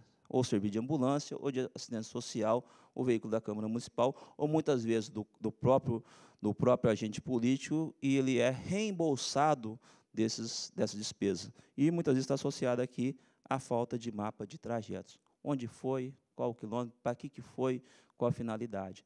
Temos muitos apontamentos aqui em relação às câmaras. Né? Indo para o top 7 agora, né? menos importante aqui, quadro de pessoal. Cargos em comissão. Né? Cargos em comissão na Câmara. Em relação a cargos em comissão, em relação à proporcionalidade em relação a servidores efetivos. Não tem isso, não, também, né? Não tem. Servidores em comissão, quadro em comissão das câmaras, das câmaras são um número reduzidíssimo em relação aos quadros de carreira, aos quadros de servidores, né? Reduzido, reduzido né? Quase não há apontamento, né? Nós além de ter apontamento, tem sido reprovado muitas contas, mas não pegando somente nesse ponto de proporcionalidade, pegando no ponto também sem a definição de atribuições. Cargo em comissão, sabemos categoricamente que é chefia, direção e assessoramento. Só que muitas vezes não dá nem para verificar se é direção, se é chefia ou se é assessoramento, porque as atribuições estão definidas. Esse é um ponto que é muito comum nos nossos relatórios e nas reprovações de contas, sem definir. Não adianta você ter, falar, a, a, a, um cargo de comissão de assessor legislativo, que é o nome mais comum, ou assessor parlamentar, e falar redigir ofícios, é, acompanhar o vereador, é, verificar sobre, é, dar opinião sobre procedimentos de várias espécies. São atribuições genéricas, né? ou muitas vezes assim, ela fica configurada que são atividades rotineiras, sem complexidade, que não requer um cargo em comissão, porque o cargo em comissão requer aqui um conhecimento especializado, de complexidade, para assessorar, não é isso? Ou para dirigir, ou para chefiar, não seria isso? Mas não é o que acontece e, nesses casos, tem sido motivo único suficiente, em grande maioria das câmaras municipais, para ser motivo de, repro, repro, de reprovação. E, em alguns casos, não são palavras minhas, né, quando se configurar que o cargo, o servidor em comissão, aquele cargo em comissão é para assessoramento político, tivemos já uma decisões que esse é para o interesse político, para cargos de assessoramento político enfim, para fazer a política, que seja pago pelo partido ou seja pago pelo próprio bolso, porque não reflete, é, não é o interesse da Câmara, mas sim da política. Não, o interesse, não reflete o interesse, não condiz com o interesse do município. Isso está escrito, tá? Em, em pareceres nossos. E voltando sobre aquele ponto ali sobre transparência, em relação às câmaras municipais, nós fizemos uma fiscalização ordenada em julho de 2016, em que 63% das câmaras não atendem requisitos de formalidade de, da transparência municipal, ou seja, não regulamentou a lei de acesso à informação, regulamentou a lei, não estabeleceu quais são as autoridades de classificação de documentos, quanto ao sigilo, autoridades, é, níveis recursais. Então, nós temos aqui mais da metade que não atendeu a questão de elementos de governança, de, de formalidades legais da, da transparência. Transparência ativa, 55% das câmaras municipais não atenderam, não disponibilizaram informações necessárias, mínimas necessárias, e também quanto ao conteúdo, receitas ou despesas, aliás, despesas, mas despesas não atualizadas em tempo real, um dia útil imediatamente, imediatamente anterior, falta de contratos, aditivos, enfim, todos aqueles elementos mínimos obrigatórios, mais da metade não atendia. E assim por diante, pegando serviço de ouvidoria, 69% não tinha serviço de ouvidoria, 69%. E a Câmara presta um serviço público. Eu, eu acredito que a Câmara não, é, não se saia daquela da, da, questão da nova lei de, é, de defesa de direitos dos usuários de serviço público, que para municípios para estados de, acima de aliás, estados e municípios acima de 500 mil habitantes passa a ser obrigatória agora a partir de junho e para municípios menores até o patamar de mais dois anos, até junho do ano de, do ano de 2019. Enfim, todos terão que ter, todos terão que ter serviço de ouvidoria, carta do usuário, conselho dos usuários, é um outro ponto que tem que se aparelhar para defesa dos direitos do usuário. Mais um ponto, não bastasse a lei, nós temos agora uma lei do, de defesa dos usuários de serviços públicos, também dentro dos quais eu destaco aqui serviço de ouvidoria, necessariamente um espaço de até é, mais um ano e três meses, todos os órgãos municipais que prestam serviço público têm que ter serviço de ouvidoria e carta de serviço, é, ca carta né, de serviços prestados ao usuário e conselho dos usuários também. Algumas decisões do tribunal. Partindo para o final, algumas decisões do tribunal que nós temos. É, falta de relatórios periódicos, exemplificando aquilo que eu falei. Isso daqui é uma, uma decisão em cima de é, câmaras municipais, né, que fala que, é, que nós temos aqui, é, que, que os relatórios não são elaborados. E um, um outro ponto aqui, ó, que, no, que, que é, é destacado no nosso relatório. É, queria só, aqui, ó, com sugestão de que seja estabelecido um intervalo mínimo, podendo ser confeccionada em, em períodos mensais, a depender do cenário interno existente e dos pontos de controle que a entidade identifique como fracos, sensíveis ou de relevância. Também sugere que o relatório seja finalizado com um quadro resumo, ofertando ao dirigente visão panorâmica da execução orçamentária, financeira e patrimonial do quadrimestre, mas pode ser num período menor relatórios periódicos novamente. Né? A falta de relatórios periódicos tem sido apontado assim de forma, de, de, de forma reiterada. Regulamentação e implantação do sistema de controle interno. Um outro ponto aqui que fala que há necessidade de implantação do sistema de controle interno em harmonia com as disposições dos artigos 31, 70 e 74, que foi é, orientado pelo comunicado 32 de 2012, mas temos outro comunicado de 35 de 2015 e o manual do controle interno que foi atualizado em 2016, que basicamente coloca mais alguns pontos, mais algumas novidades, dentro das quais é o plano operativo anual, a adoção do planejamento do controle interno, onde, em síntese, vai estar configurado quais são as atividades de riscos, quais são os riscos que serão controlados, planejados e colocados nesse, nesse plano operativo anual para se, ser acompanhado pelo controle interno. Enfim, é a peça de planejamento do controle interno que se chama Plano Operativo Anual. O Tribunal de Contas vai estar cobrando isto nos relatórios de 2016, nos relatórios agora de 2017, que vão ser fiscalizados este ano, e em 2018 também. Outro parecer sobre regulamentação e implantação do sistema de controle interno.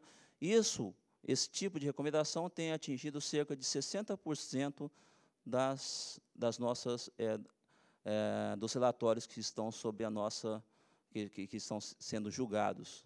Cerca de 60%, ou seja, mais da metade, tem se recebido já recomendações, isso já desde o ano de 2012. Advertências. O passo seguinte seria é, uma, uma, etapa de responsabilização maior, que, que é a reprovação das contas. E qual seria o papel do controle interno? Um resumo de tudo que, que eu falei. Levantar os riscos quanto à probabilidade de impacto de ocorrência, mapear, mapear esses riscos, adotar quais são as medidas que serão necessárias para combater esses riscos, analisar as alternativas de, de soluções e consenso. Não pense que o controle interno vendo um ponto fraco vai falar, ah, isso daqui está errado, eu vou entregar diretamente ao gestor. Busque o consenso primeiro. Tem, tem medidas que são de fácil solução. Não precisa nem ir na etapa de um, de um plano de ação. Pode simplesmente ir com a recomendação, com a boa conversa. Ou seja, adotar o princípio de consenso. Feita essa etapa, planejar essas alternativas, essas medidas no plano de ação. Executar o que foi planejado, elaborar informações, relatórios ou pareceres, comunicar às partes interessadas ou à autoridade, ou só as partes interessadas primeiro para obter soluções, pra, e depois, no, no, no, caso de não solução, à autoridade. Vocês vejam, não é atividade de entregar, é uma atividade de solucionar entre as partes interessadas primeiro, para depois levar a conhecimento do gestor. A mesmo o gestor fala, eu também quero acompanhar isso, eu quero ter ciência. Mas significa que vai entregar? Eu quero ter ciência. É um direito também do gestor ter isso.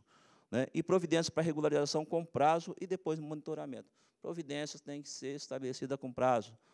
Né? Qual que é o prazo? Tem soluções que demoram mais. Se alguma solução que é, demanda a elaboração de uma lei, muitas vezes você aponta uma vez, recomenda e propõe né, propõe o projeto. Muitas vezes o projeto não entra na pauta, o presidente da Câmara é responsável pela, pela inclusão ou não na pauta. Às vezes fica um, dois anos porque não é do interesse político. Isso é do jogo. Mas foi proposto uma, alguma solução que demande uma medida política, por exemplo, de uma, de uma proposta de lei, e a lei não entra na pauta, aí já, até aí, a responsabilidade do controle interno, ele se esvaziou, esgotou. Vai até esse ponto, tá? E monitoramento, para ver se as providências adotadas, elas foram estão sendo cumpridas e, sobretudo, se estão, não é só para ver se está sendo cumprida, tá? Não é somente para ver se está sendo cumprida, estão adotadas, ah, se estão sendo cumpridas ou adotadas providências, mas fazer um relatório de impacto. Ah, essa medida tem surtido efeito, aquela medida de melhorar o procedimento de, com, de compras teve o objetivo de trazer mais eficiência, mais rapidez, mais celeridade. Está sendo está tá, tá surtindo esse efeito, sim ou não? Antes o procedimento demorava, vamos falar, de um pregão demorava 60 dias, agora com esse procedimento aqui, ou com melhor treinamento, vai ver que o problema era treinamento dos pregoeiros, agora foi praticado um, um treinamento, agora demora 45, 30, então, enfim, surtiu o efeito. Essa atividade de monitoramento também é para verificar se os efeitos ali estão sendo surtidos, efeitos quanto à eficiência, economicidade, rapidez, agilidade, economicidade, enfim, e aí nós temos um, uma atuação completa do controle interno. Né? E com isso, né, eu desejo né, uma, uma profícua e sucesso nas atividades do controle interno. O nosso Tribunal de Contas, por meio da unidade regional, ou por meio da Escola de Contas, ou meu contato também direto aqui, nós estamos aqui para proporcionar esse tipo de parceria de orientação. Tem sido uma bandeira já adotada há mais de 20, 22 anos de aproximação, de parceria, de orientação e capacitação, e capacitação com os órgãos públicos sob a jurisdição do Tribunal de Contas, e isso é uma política contínua e de diretriz, de, de, de diretriz estratégica adotada pelo, pelas nossas presidências durante ao longo de sua existência. Eu agradeço muito o convite, o convite da, da Elecamp, na pessoa do, do seu presidente, né? E desejo um, uma ótima jornada aqui, um ótimo final aqui de manhã e um, e um período de tarde excelente. Agradeço bastante. Muito obrigado.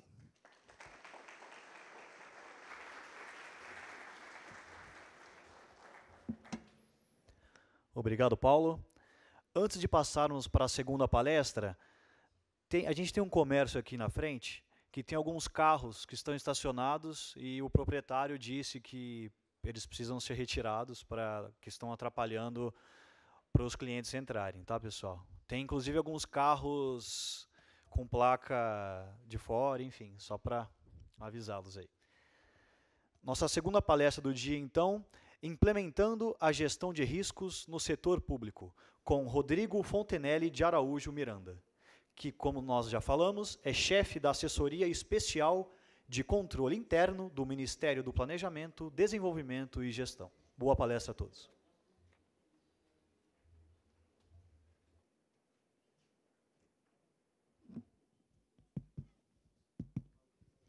Pessoal, bom dia a todos.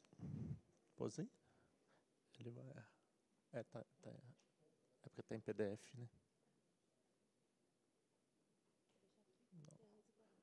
Tá, deixa eu pegar. Só um minutinho, pessoal, porque está em PDF, senão a formatação vai ficar ruim.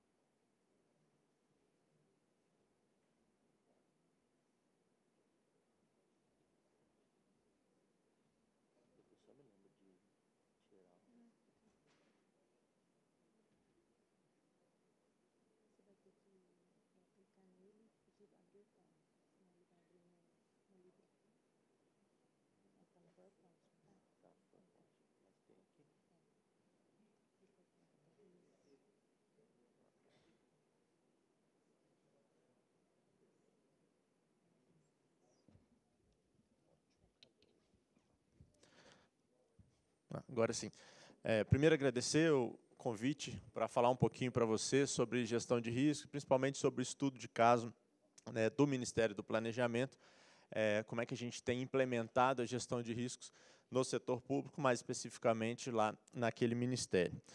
Mas antes, queria trazer para vocês, né, até para a gente nivelar um pouquinho, o que não é gestão de riscos. Né? Vocês devem estar tá, é, vendo bastante isso, né, lendo bastante é, nas mídias, nas redes sociais, né, governança, compliance, risco, programa de integridade. Né, isso está, é, vamos dizer assim, mais em voga nesses últimos tempos. Mas aqui eu queria nivelar algumas coisas e até desmitificar algum, alguns pontos relacionados à gestão de riscos, porque acaba atrapalhando quando a gente vai implementar. Tá?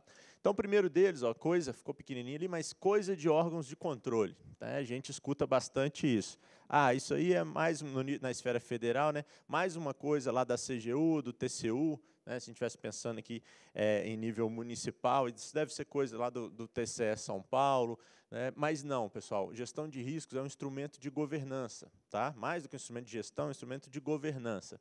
Então, não é coisa de órgão de controle.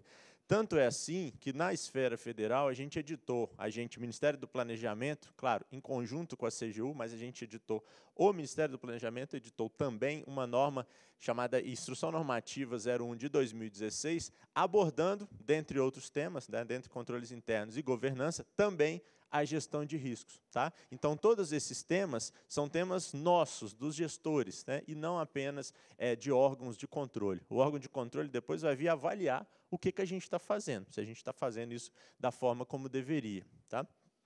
Um outro ponto, né, escutei, às vezes ainda escuto, mas em menos, menos grau, é o modismo. Né? Ah, Igual a gente já teve no passado outras iniciativas que depois ficaram é, deixaram de lado, né? gestão de riscos também é uma onda passageira. Tá? É, é, claro, eu acho que não, né? mas a gente já tem, é, a gente já tem também na esfera federal, mas também nas estaduais, né? e aqui está é, o próprio controlador da, do DF que não me deixa mentir, a gente já tem arcabouço normativo, arcabouço é, legal sendo é, criado para é, que isso não seja é, que é, gestão de risco, governança, não fique apenas no modismo. Né? Só para vocês terem uma ideia, na esfera federal foi é, criado, foi publicado um decreto, decreto 9203, em novembro de 2017, que trata de todos esses temas, inclusive gestão de riscos. Então, hoje a gente já tem um arcabouço é, mais forte, vamos dizer assim.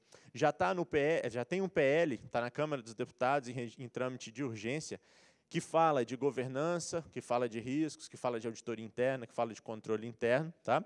É, e a abrangência desse PL, pelo menos a, a, a, ideia inicial, é que ele abarque também estados, municípios e todos os poderes. Né? Então, a gente vai construindo normativos para nos ajudar né, a consolidar esse tema é, tão importante para a gestão e principalmente para a governança no nosso país.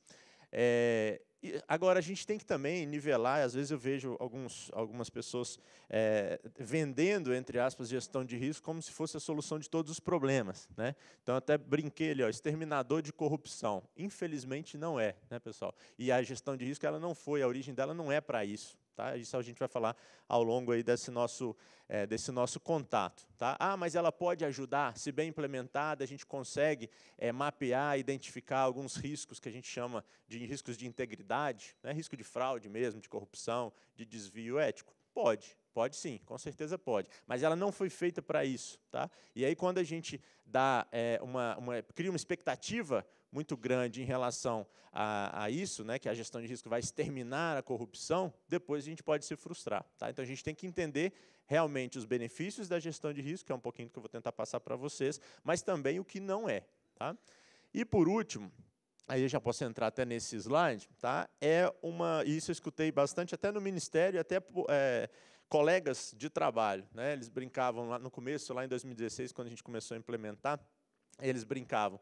É, Pô, Fontinelli, você vê, cara, eu trabalho aqui 8, 9, 10 horas por dia, trabalho muito, e você ainda quer que eu faça esse negócio aí de gestão de riscos? Né? Aí eu brinquei, cara, senta aqui do meu lado que você não entendeu nada do que eu estou tentando falar. Por quê? Porque é uma percepção incorreta que a gente tem que a gestão de riscos vai te dar mais trabalho.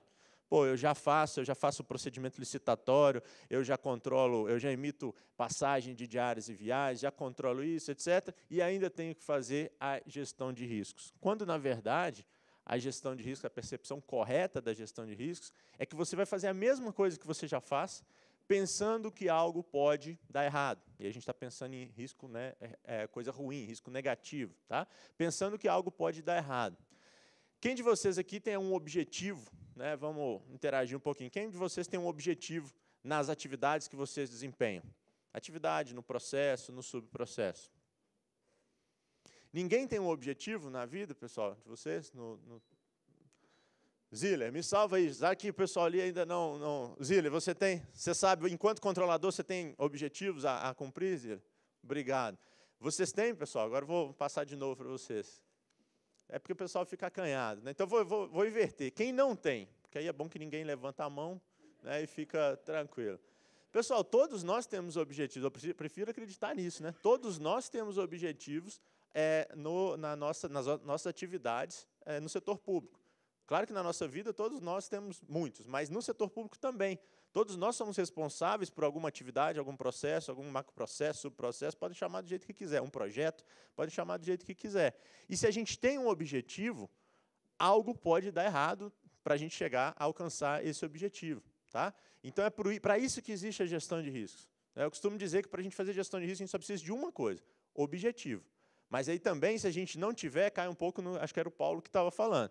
Se você não tem um objetivo para perseguir, também não precisa fazer gestão de risco, porque nada pode te atrapalhar a chegar num lugar, atingir alguma coisa que você não sabe. Né? Então, aí também não precisa. Mas, considerando que todos nós temos objetivos, todos nós temos que fazer gestão de riscos. Tá? Então, é, entendam como pensar o seu processo, a sua atividade, aquele seu trabalho de forma diferente, mas não mais um trabalho. Isso é muito importante para a gente é, implementar ter consciência disso. Bom, agora entrando um pouco no, no nosso é, estudo de caso lá do Ministério do Planejamento. A gestão de riscos lá, ela faz parte de algo maior, que é um programa chamado Programa de Integridade. Tá? Programa de integridade, que a gente tem como objetivo né, mitigar lá ocorrências de corrupção e desvios éticos, mas muito mais do que isso, o objetivo de entregar o resultado, e no nosso caso, a resultado à sociedade. Tá? Para isso que a gente criou o programa de integridade lá em 2016, é, à época ainda o ministro Valdir Simão. E dentro desses quatro pilares que estão ali desse programa, ambiente de integridade, procedimentos de integridade, comunicação e monitoramento, um deles é a gestão de riscos. Tá? Nesse pilar gestão de riscos, a gente não pensou apenas, né, o que é, acaba sendo comum quando a gente pega programas de integridade é, em outros órgãos, em empresas, a gente não pensa apenas nos riscos de integridade, que eu já defini para vocês. Tá? A gente fez um negócio mais amplo e é, pensando em todos os riscos que a nossa organização, no nosso caso, o nosso ministério, está exposto. Tá? Então, esse é o trabalho que a gente é, vem fazendo lá. Só para vocês terem uma ideia, esse aqui é uma, uma, quase uma estrutura analítica né, do projeto nosso de gestão de risco. Como é que a gente fez isso, né, o passo a passo? Muita gente nos pergunta, ah, mas como vocês começaram, quanto tempo vocês gastaram, quantas pessoas participaram? Né? É, na verdade, isso, esses verbos deveriam estar todos no presente, né, porque a gente continua implementando, né, e isso vai ser sempre. Né? É por isso que não, a gente acaba, às vezes, é, se referindo a projeto, mas é muito mais um processo de gestão de risco do que um projeto que tem começo, meio e fim. Tá? Mas a gente começou lá em maio de 2016, avaliando a maturidade em riscos do nosso ministério, dos nossos servidores, dos nossos funcionários. Tá?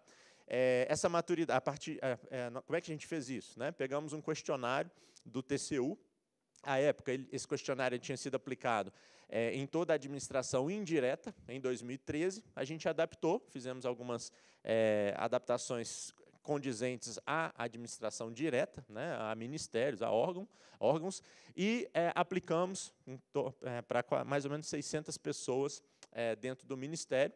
Como resultado, resultado inicial, maturidade em gestão de riscos do Ministério do Planejamento em 2016, inicial, uma classificação de 1 a 5, a gente tinha, a, é, deu uma classificação 1, uma nota 1. Tá?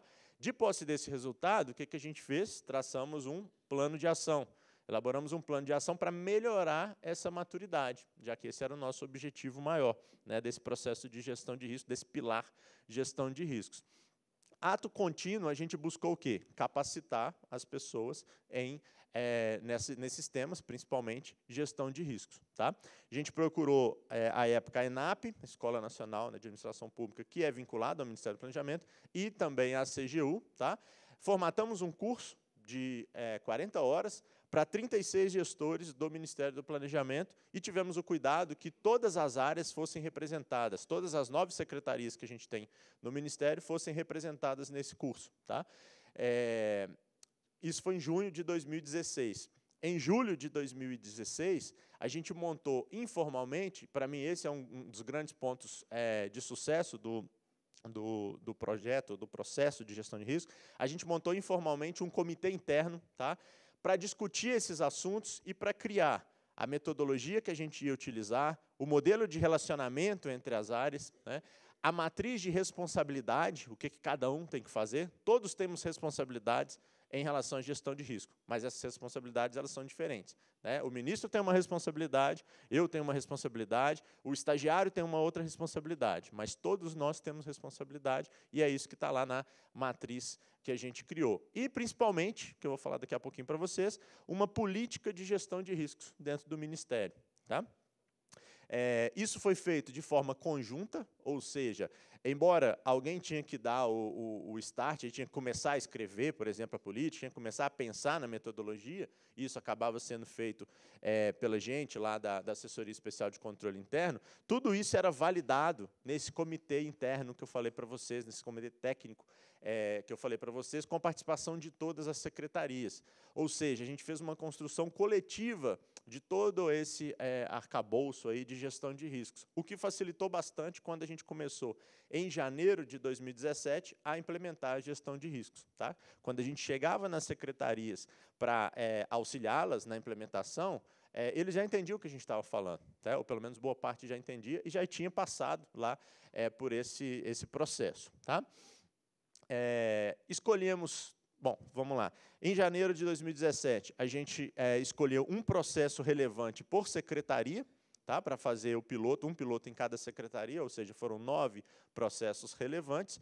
É, por determinação do é, então secretário executivo, mas que depois virou ministro, tá?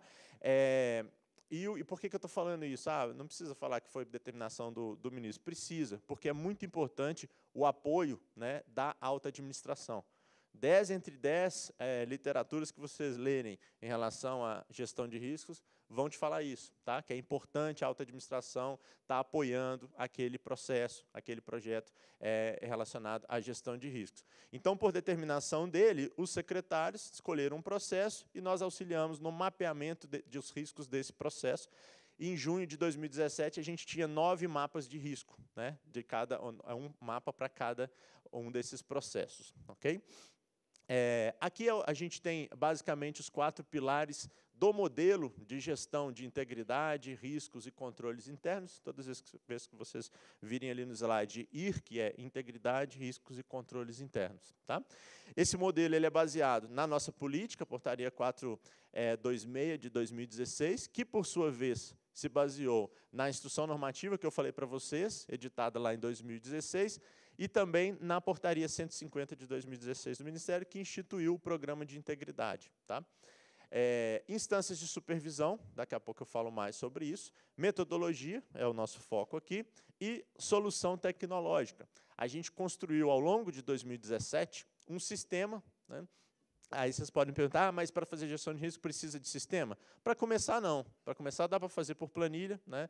É, mas vai chegar num ponto, né, principalmente se a organização for grande, igual o Ministério é, 5 mil pessoas, tá?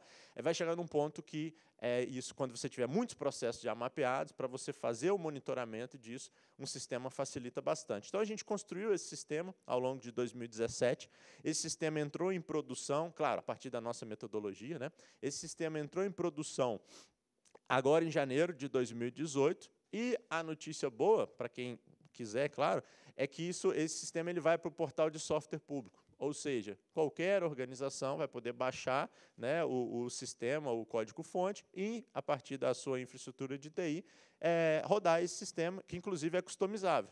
Né, porque uma das coisas que a gente tem como premissas na gestão de risco é que a, o modelo de gestão de risco, a metodologia, ela deve ser customizada para cada órgão, para cada entidade. Tá? E na Câmara não seria diferente. Né? A Câmara Municipal de São Paulo, se adotar gestão de risco, vai ter uma metodologia e alguns pontos cruciais. Uma Câmara de uma cidade menor, né, uma, uma, câmara, uma população menor, claro que vai ter que utilizar uma outra é, customização, pelo menos fazer uma outra customização em relação àquela metodologia. Tá? Então, essa é a base aí para os quatro pilares do nosso modelo.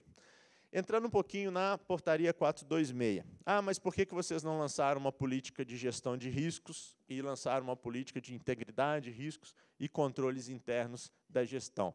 Justamente por causa do nosso programa que eu falei para vocês de integridade. Tá? Então, se a gente já ia construir um normativo é, interno, né, portaria normativa interna do Ministério, para falar desse tema, a gente achou interessante já falar, né, já dar as diretrizes dos três temas que, estão, que são é, correlacionados, mas nós sabemos que não são sinônimos. Tá? Então, a gente é, fez essa política em final de 2016, com abrangência todo o Ministério, tá? do ministro ao estagiário, terceirizados, todo mundo que trabalha no Ministério é, precisa seguir essa política. Ela começa com alguns conceitos mais basilares, ali, mais para nivelar o entendimento de alguns termos que aparecem ao longo da política, né? e ela principalmente ela estabelece princípios, diretrizes, princípios, diretrizes e responsabilidades de cada um. Então, se vocês é, pegarem essa portaria 426, lá tem a responsabilidade do ministro em relação a isso. Lá tem a responsabilidade de um secretário é, de Estado é, em relação a isso. Tá? Então, tem é, os níveis de responsabilidades e isso dá mais força, inclusive, para você implementar o seu projeto. Né? Se antes é uma coisa, ah, é uma boa prática esse negócio aí de gestão de riscos, hoje não. Hoje você tem uma portaria assinada é, pelo ministro é, para a implementação e, inclusive, com a responsabilização de cada um se em algum momento, né, e com certeza vai chegar esse momento, o TCU ou a CGU né, é, vierem nos auditar, Claro que eles vão falar, ó, você mesmo escreveu, Ministério, tem essa portaria aqui, você mesmo escreveu que você tinha que fazer isso, isso e isso, que as suas responsabilidades são essas, essas, essas, então agora eu quero saber o que vocês estão fazendo. Tá? Por isso que a gente sempre tem que evoluir em relação a, a esse processo. Os instrumentos né, da, dessa, da política, as instâncias de supervisão, é o nosso próximo slide, eu quero explicar é, para vocês. A metodologia que a gente é, construiu é, internamente, Capacitação continuada, a gente tem feito diversos treinamentos. Né, é, apresentação como essa, é, até a última vez que eu parei de contar, parei de contar não, né, mas até a última vez que eu vi, que foi dezembro de 2017, eu já tinha feito mais de 70 desde meio de 2016 até dezembro de 2017, a órgãos e entidades que vão nos procurar ou em eventos como esse, tá, para tentar passar um pouco da nossa experiência né, e trocar é, ideia mesmo e aprender com outras instituições também. Além do que, a gente tem algumas capacitações é, na, na, própria escola, é, na ENAP, né, na Escola Nacional de Administração Pública, a gente tem quatro cursos é, na grade é, fixa deles, né, é, também para servidores, e estamos lançando agora na ENAP no final do mês, possivelmente, ou no máximo no começo de abril, um curso em EAD gratuito de gestão de riscos. Tá? Então, eles pedem para a gente divulgar bastante isso. Né? É, então, possivelmente, já vai estar na plataforma EAD da ENAP no começo de abril, é, para qualquer servidor que tenha interesse no tema, tá? É, saber um pouquinho mais. Normas manuais e procedimentos, tudo que a gente fez ou, e tem feito no Ministério, a gente coloca na nossa página na internet, justamente para é, poder auxiliar quem está começando, da mesma forma como a gente fez, a gente foi buscar em outros lugares, né, é, fizemos benchmarkings aí, é, em outros órgãos e entidades quando a gente estava começando, então a gente acha que a gente também tem que fazer isso para quem, é, se a gente puder ajudar é, em relação a normas, manuais e procedimentos, solução tecnológica, eu falei para vocês. Bom, falando de instâncias de supervisão, o que é muito importante, porque é, aqui a gente vê as responsabilidades né, de cada um desses atores que eu vou falar para vocês. Tá? Primeiro, primeiro ponto é o nível mais alto de governança né, do, do, Ministério em relação a isso seria o Comitê de Gestão Estratégica. Tá? Esse Comitê de Gestão Estratégica ele se reúne duas vezes ao ano. Ele é formado pelo ministro, pelo secretário executivo e pelos secretários tá? ou seja, a alta administração ali daquele ministério. E qual que é a função dele? Deliberar sobre assuntos, como o nome já diz, assuntos estratégicos do ministério. Então, só para citar um exemplo, quem aprovou a política? Esse comitê. Quem aprovou a metodologia que foi construída né, pelos técnicos? Este comitê. Tá? Então, tudo que é estratégico para o Ministério como um todo é quem aprova é esse órgão colegiado. Tá? Então, a gente sai de uma decisão monocrática só do ministro, tá? essa é a ideia né, da governança, sai de uma decisão singular justamente para trazer é, o colegiado para decidir esses assuntos. Tá? É, no nível tático, a gente tem o subcomitê de gestão de integridade, riscos e controles internos. Tá? Para que, que existe esse subcomitê? Para apoiar o comitê de gestão estratégica nas suas decisões. Então, quando chegou lá a metodologia para ministro, secretário executivo e secretários é, aprovarem.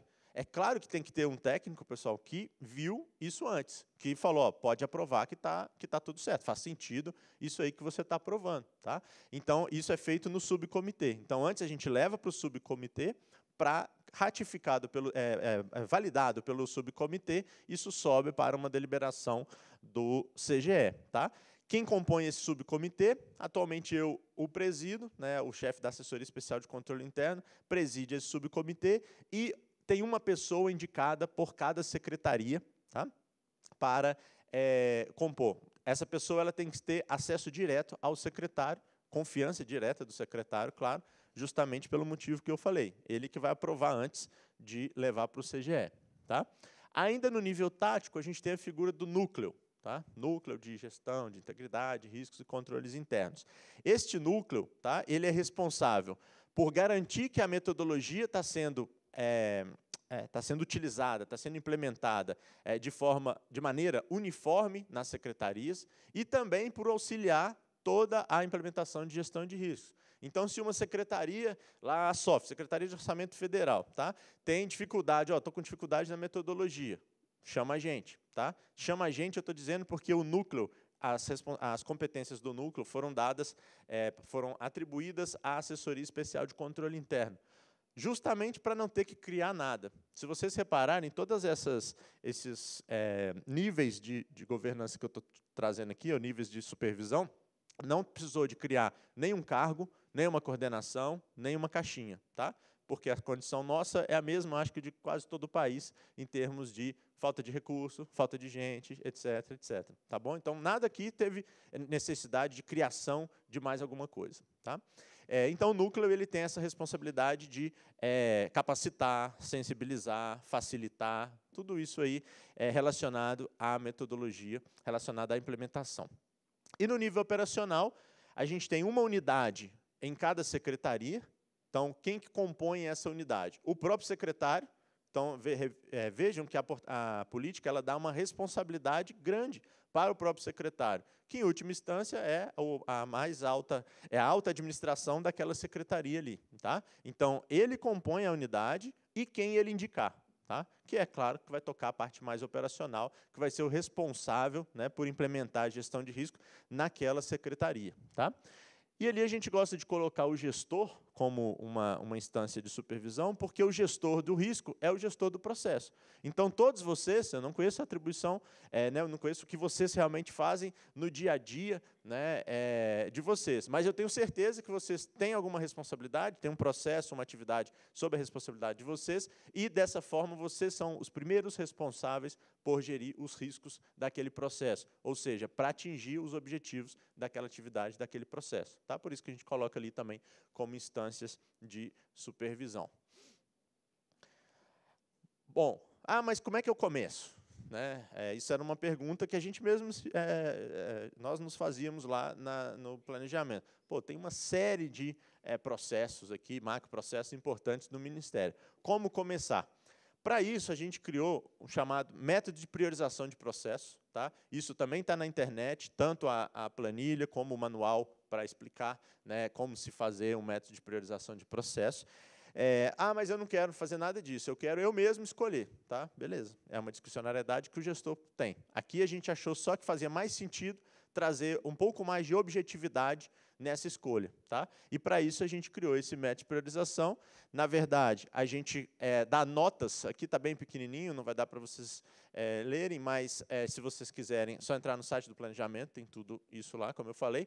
E você vai dar notas para critérios qualitativos e critérios quantitativos para cada processo da sua organização. Então, pensando lá no, no num qualitativo. Ah, número de denúncias. Aquele processo tem muitas denúncias? Vai ganhar determinada nota. Não, nunca foi denunciado. Vai ganhar uma nota menor. Aquele processo tem uma determinação, né, pensando no caso de vocês, tem uma determinação do Tribunal de Contas do Estado? Vai ganhar uma nota maior. Tá? Ou seja, ele começa a ser mais prioritário para eu começar já a mapear os, os, riscos desse processo. Ah, não, ele nunca foi objeto de recomendação nem determinação é, do tribunal. Ganha uma nota menor. Aquele processo é estratégico na minha organização? Ganha uma nota maior. Não, não é estratégico, ganha uma nota menor. E por aí vai. Tá? São seis critérios qualitativos e três critérios quantitativos.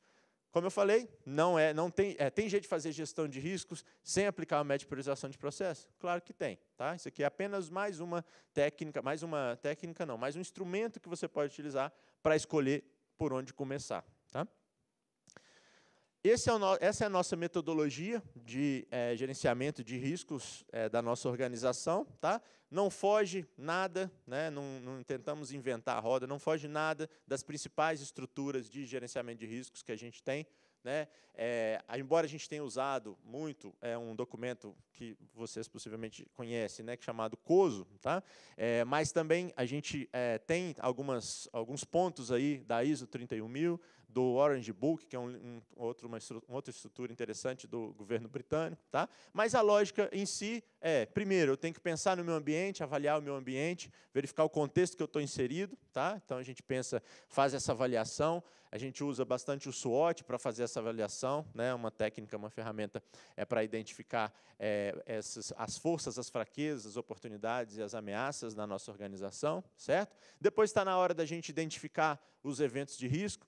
Ah, tá, isso tudo que você está falando eu já li 20 vezes, mas eu não sei como é que eu faço. Beleza, eu posso falar como a gente fez. A gente colocou é, as pessoas, vamos, vamos pensar na SOF, já que eu falei, né, Secretaria de Orçamento Federal. A gente colocou é, as pessoas que cuidavam do processo alteração orçamentária, que foi o processo escolhido pela, pela secretaria, tá? as pessoas que cuidavam, que conhecem aquele processo, numa mesma sala, no mesmo horário, sempre, toda semana. Então, no caso da Sofia, eu estou falando realmente o, o, o, o que aconteceu. Toda sexta-feira de manhã, no primeiro semestre de 2017, é, de nove e meia a meio-dia, aquelas pessoas, juntamente com a minha equipe, ou eu, ou alguém da minha equipe, ou até mais de uma pessoa, estar, estavam reunidas para fazer o mapeamento de riscos, dos riscos relevantes daquele processo. Tá? E aí a gente usava diversas técnicas, brainstorming, é, é, Ishikawa, é, Boltar, e diversas técnicas que é, tem uma literatura boa aí para ajudá-los em relação a isso, e também está explicado no nosso manual na internet. Tá? Mas o importante era reunir pessoas que conhecem daquele processo, naquele momento, tá? e discutir realmente quais são os principais eventos para os eventos de risco que podem atrapalhar, já que aqui a gente está falando de risco negativo, que podem atrapalhar o atingimento do meu objetivo. Dessa forma, a gente fez nas nove secretarias. Tá? Ou seja, nove turnos, nove dos dez turnos né, que a gente tem numa semana eram tomados por esse, é, processo, esse projeto, né, esse processo nosso de gestão de riscos. Tá? Depois que eu identifiquei os eventos de risco, ou seja, aquilo que pode atrapalhar o atingimento do meu objetivo, a gente passa a avaliar esses riscos. Né? Não basta só identificá-los, a gente precisa avaliá-los. Então, a gente avalia na metodologia que a gente construiu, é, a gente avalia a partir de uma matriz probabilidade e impacto, igual 99% das organizações fazem, é, com cinco notas para cinco possibilidades de nota para a probabilidade, cinco possibilidades de nota para o impacto. Tá? Avaliamos o risco inerente, ou seja, aquele risco que é, como o nome já diz, né, inerente ao processo, desconsiderando qualquer controle existente. Depois avaliamos os riscos, oh, desculpa, avaliamos os controles já existentes naquele processo e o que sobra né, é o que a gente chama de risco residual. Tá? Essa, essa é uma etapa do nosso processo. Dentro desse risco que sobra, esse risco residual, a gente precisa escolher uma resposta a esse risco. Também não inventamos a roda, né? a gente pode evitar, como resposta, a gente pode evitar o risco, a gente pode é, reduzir aquele risco, a gente pode compartilhar ou transferir aquele risco, e eu posso simplesmente aceitar aquele risco. Tá? Depois da resposta, eu implemento ações ou controles, né? não necessariamente controles, mas implemento ações para, principalmente se eu escolher reduzir o risco, para que aquele risco realmente seja reduzido. Tá?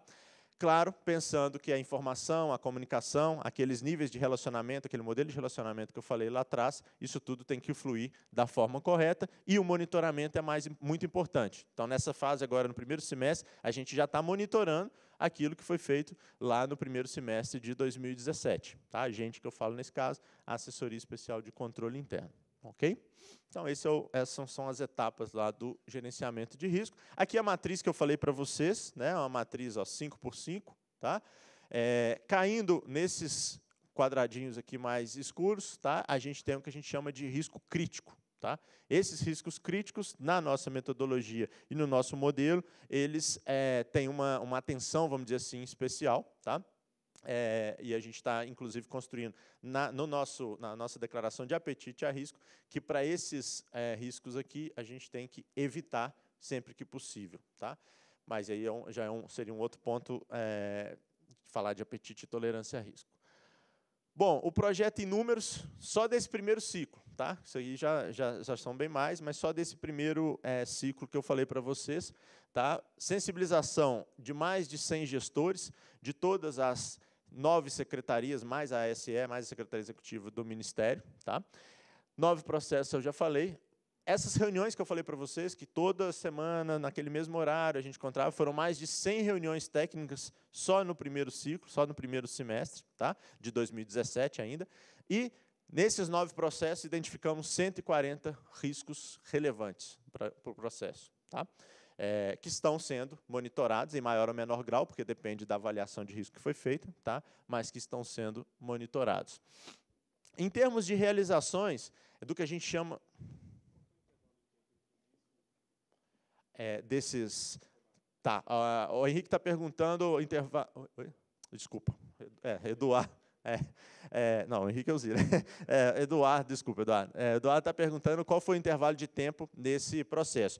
Como a maturidade ainda era bem inicial, tá? É, da, se a gente teve que fazer, como a gente brinca, pegar na mão mesmo do gestor para explicar como é que fazia, a maioria dos processos foi de fevereiro a maio. Tá?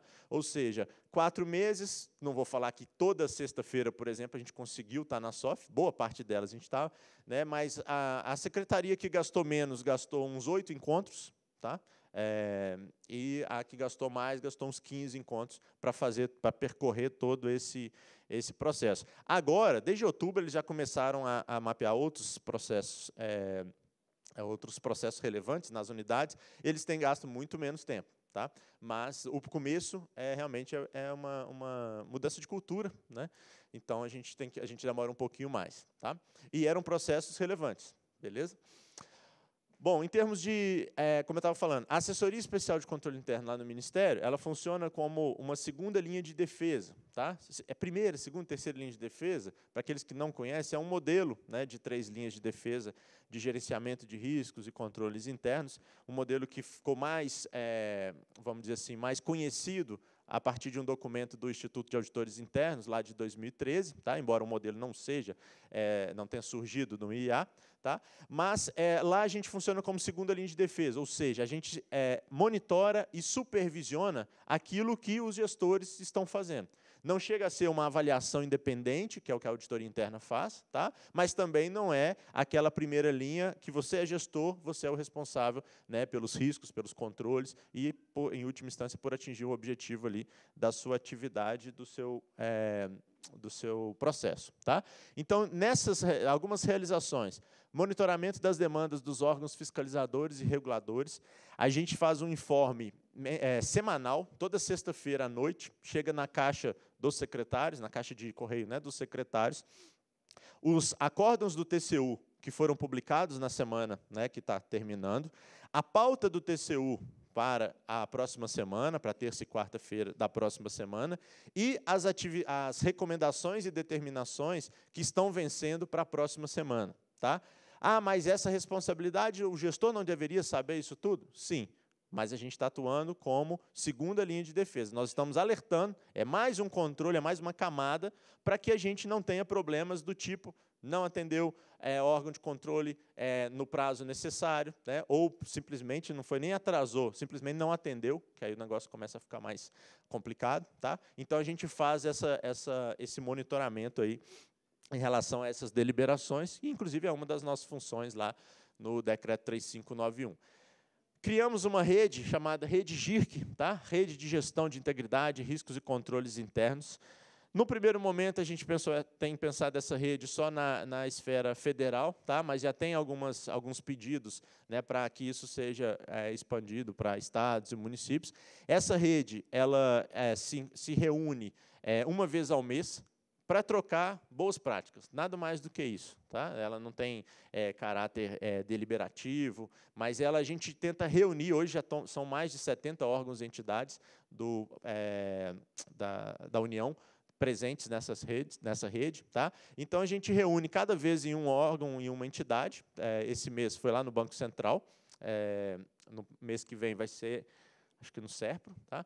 É, e a gente traz palestrantes, a gente traz experiências, a gente traz é, estudos de caso né, sobre integridade, riscos, governança e controles internos. Tá? Tem sido, já fizemos seis reuniões, isso foi é, instaurada essa rede em é, agosto de 2017, já fizemos, estamos indo para a sexta reunião, tá? e tem dado uma repercussão bem legal. A gente tem uma rede social para os integrantes da rede, né? tipo um Facebook, só que chama Onda e é, é, é conduzido pela DataPrev. Né? A DataPrev nos cedeu, eles já tinham isso internamente, fez um negócio separado lá para esses, esses integrantes da rede. Tá? E é bom porque a gente consegue trocar é, documentos, a gente consegue colocar palestras, vídeos, é, igual o Facebook que todo mundo conhece, tá? só que, claro, sendo utilizado para esses temas. Né?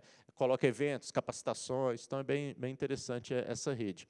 É, identificamos os riscos estratégicos e monitoramento dos riscos relevantes. Monitoramento eu falei. Riscos estratégicos é o passo que a gente está fazendo este semestre. Tá? Então, foi uma forma da gente chegar mais rápido aos objetivos estratégicos do, do Ministério e até mesmo estar tá mais próximo né, do ministro, secretário, e secretário executivo e secretários. Então, agora a gente está, qual, que é, qual que é a fase que a gente está é, no Ministério? Mapeando os riscos estratégicos para o atingimento daqueles objetivos estratégicos que está lá no nosso planejamento é, estratégico do, do Ministério. Tá? Então, a gente tem é, por uma determinação do Comitê de Gestão Estratégica, a gente tem até junho para ter todos os riscos é, relevantes, claro, estratégicos do Ministério. Isso é o que tem é, tomado mais tempo nosso agora, é o que a gente está fazendo. É, o sistema eu falei para vocês, né, assessoramento em relação à definição de apetite a risco do MP, a gente, já, a gente já fez a declaração, agora a gente está é, colocando para as pessoas é, revisarem, né, para, os, para o subcomitê revisar, tolerância a risco, idem. É, interação com outros órgãos e entidades, né, como eu falei, ó, mais de 70 exposições sobre o tema, isso, esse número já é bem maior, e para 32 órgãos e entidades. É, cursos realizados na ENAP e também em Company. É, em Company aqui, pessoal, é o seguinte, a gente tem dado na última semana, é, até o pessoal da, do GDF vai fazer com a gente agora, é, três pessoas na, na próxima semana. A cada, toda última semana, a gente é, dá um curso é, como é que tem funcionado isso? O órgão, pegar o exemplo do mês passado, fevereiro, ou melhor, exemplo de agora, semana que vem. Ministério da Defesa nos procurou, falou, ó, a gente precisa de um curso é, implementando gestão de risco no setor público e tal, é, e eu tenho 30 servidores para treinar. Falei, beleza. Você dá toda a estrutura, tá? a gente entra com o nosso conhecimento, quem, quem, dá essa parte sou eu e, duas pessoas da minha equipe, tá?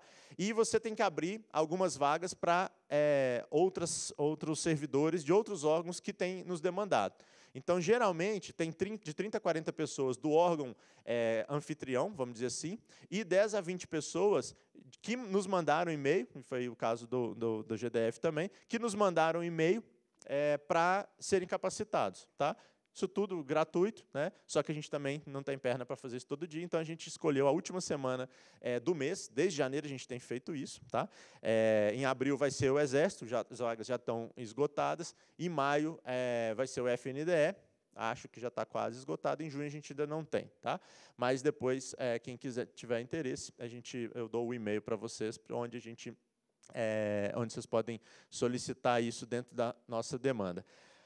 É, disponibilização de todos aqueles documentos, eu falei, e o sistema é, não tem o prazo, já sei que algumas pessoas devem perguntar isso, não tem o prazo é, de, em relação ao sistema, porque eu já cansei de dar prazo para o sistema e a gente não conseguir cumprir. Tá? Então, o sistema está pronto, é, essa semana mesmo a gente já treinou 50 pessoas do Ministério que já conheciam, a maioria já conhecia a metodologia, mas não conhecia o sistema, então nós treinamos é, hoje, né, ontem eu treinei uma parte, hoje a minha equipe está treinando outra parte lá na ENAP, no sistema, mas para disponibilização para o software público é que eu ainda não tenho é, uma data, estamos tentando trabalhar aí com abril, mas também não vou, não posso garantir, tá? Mas quando a gente divulgar isso vai ser, é, quando a gente disponibilizar isso vai ser bastante divulgado nas é, nas redes sociais aí e tudo. É, e para quase já finalizando, é, algumas ações que a gente tem feito né, em relação mais à, parte toda de, de, segunda linha de defesa aí. A gente tem levado algumas pessoas, né, santo de casa não faz milagre, então a gente tem buscado é, algumas pessoas para falarem é, sobre determinados assuntos lá no, no Ministério. Aqui eu peguei duas, é, compliance e é, detecção de fraudes em licitação. Foram dois temas que a gente abordou, nesse caso, ano passado. Tá? Levei uma, uma pessoa do Ministério da Fazenda, que atualmente hoje está na CGU, para falar de compliance para os nossos gestores, e é, também levei uma pessoa da CGU, lá do CGU Mato Grosso, o Kleberson, que é referência nessa parte aqui de detecção de fraudes em licitação, um cara muito bom, é, também para falar, principalmente para a nossa área, é, que, que, tem um, que é exposta a um risco de, de integridade maior ali nesse processo de compras. Além disso, e aí já finalizando, mas ressaltando uma, um ponto crucial num programa de gestão de riscos, é a parceria com a assessoria de comunicação do órgão ou da entidade. Tá? Lá a gente tem, a gente fez um plano de comunicação é, desde o início, desde 2016, é, eles criaram né, uma, uma campanha chamada, e aí tem muito a ver com o programa de integridade, mas que perpassa riscos também, criaram uma campanha é, chamada Não é Legal. Tá? É, o Não é Legal era justamente para dar esse, esse, duplo sentido. Eu, eu, não sei se eu trouxe todas, é, acho que sim. É, ó, não é legal agir de forma escandalosa na repartição. Não é legal no sentido, pô, você não devia fazer isso, cara, não é legal. Tá? mas também no sentido de que você está descumprindo uma lei. É ilegal, porque 8.112 diz que você não pode fazer isso. Tá? Da mesma forma, chegar atrasado continuamente, usar roupas inapropriadas no ambiente de trabalho, bater ponto para outra pessoa, e falsificar atestado em situações médicas. Tá? Essas são as cinco que atualmente a gente já tem, tem outras em produção, mas aí como não, foi, não foram divulgadas nas redes sociais do Ministério, eu não, não posso colocar aqui. Tá? Mas qual que foi a ideia dessa, e essa ideia partiu da própria assessoria de comunicação. É, a ideia foi trabalhar numa linguagem é, mais... É, vamos, não uma linguagem, uma forma mais light de falar de um tema que poderia ter tido uma repercussão é, negativa né, é, na, na, casa. Ah, pô, você acha que todo mundo aqui é corrupto? Você acha que todo mundo aqui é, tem desvio ético? Né?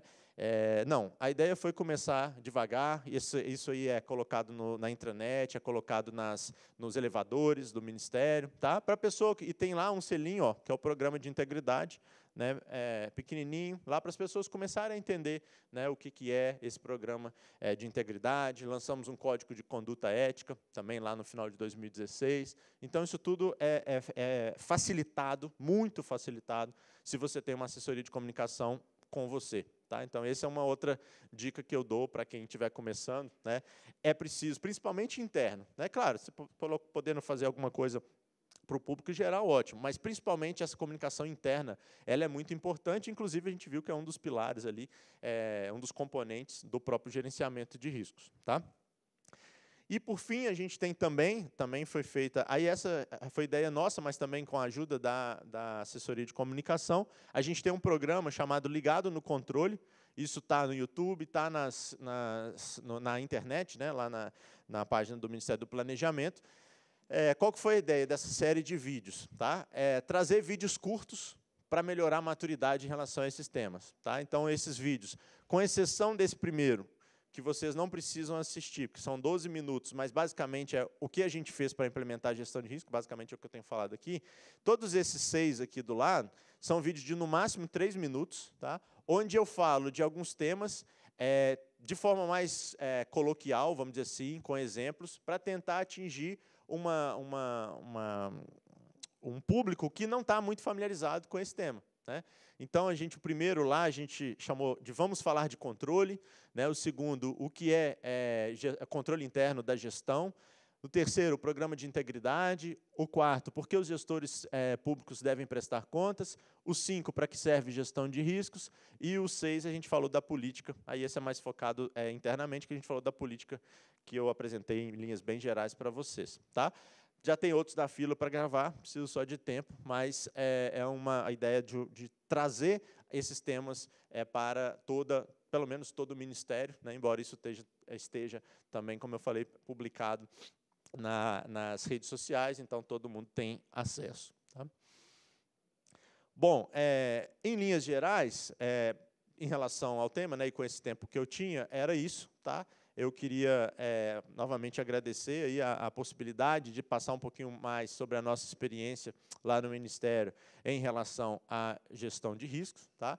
E queria deixar um recado é difícil implementar a gestão de riscos? É uma mudança de cultura. Tá? E toda mudança de cultura é, não é simplesmente ah, instituir uma, um comitê, fiz uma política, beleza, já tem gestão de risco. Não é assim, infelizmente a gente sabe que não é assim. Tá? Mas também não pensem que é algo de outro mundo. tá? E aí o, o professor Pardini pode falar bastante, embora o tema da palestra dele não é, é necessariamente sobre isso, mas ele é, é referência nesse assunto, ele pode falar bastante disso, tá? Como eu tentei mostrar para vocês, a gestão de riscos é, tá, já está enraizada na nossa vida. Tá? Eu não fiz uma brincadeira aqui no começo, né, porque ninguém estava é, me dando bola, né, Zila? Só o Zila que levantou a mão quando eu perguntei. Mas se eu perguntasse para vocês agora, depois né, de 40 minutos aí falando de gestão de risco, é, se vocês fazem gestão de risco na vida de vocês, na vida pessoal de vocês, eu tenho certeza que todos vocês pensariam, não, eu faço, eu faço quando eu é, pego um, um, um, pego meu carro e coloco lá um Waze ou um Google Maps para chegar mais rápido num determinado local, para ver se não tem é, uma batida em determinada via. Isso é gestão de risco. Né? Quando a gente está é, programando um alarme, né, para sempre uso esse exemplo, programando um alarme para acordar, tem objetivo nisso? Tem, não tem? Eu quero, não quero perder a hora, não quero é, é, perder um compromisso. Isso é gestão de risco. Só que a gente não para para falar, agora eu vou fazer a minha gestão de risco, vou programar um alarme. Né? Nem gente que gosta muito do tema como eu é doido a, a esse ponto, né? de, de ficar é, parando, não, agora eu vou fazer gestão de risco. Isso já está é, enraizado na nossa cultura. Tá? E se a gente tem isso na nossa vida pessoal, para atingir os nossos objetivos, por que não fazer isso também no setor público? Já que todos vocês concordaram, na pressão ou não, que tem um objetivo né, é, nas suas atividades, nos seus processos. Tá? Então, essa é a ideia, né, trazer algo que a gente já faz, algo que faz sentido para a gente, né, para atingir determinado objetivo, trazer isso para o setor público, que tanto precisa né, de atingimento de objetivos, em todas as esferas. Estou falando estratégico, estou falando tático, estou falando operacional, estou falando de coisas simples, estou né? falando de política pública. Tá? Em todos eles a gente tem objetivos a serem atingidos. E vocês podem ter certeza que a gestão de riscos vai ajudá-los no cumprimento desses objetivos. Ok? Então, mais uma vez, obrigado e estou à disposição lá no, no Ministério.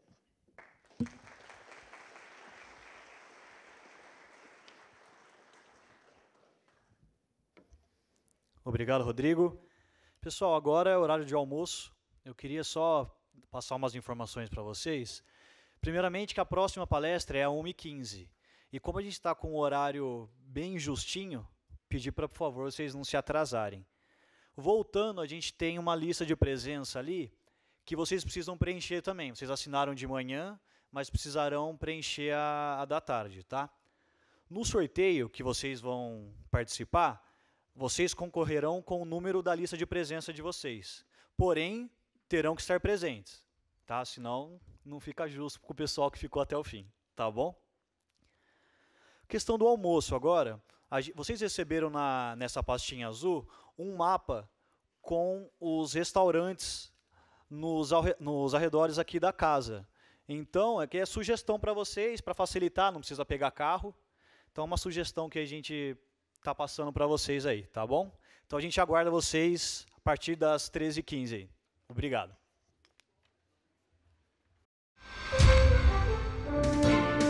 TV Câmara. Campinas.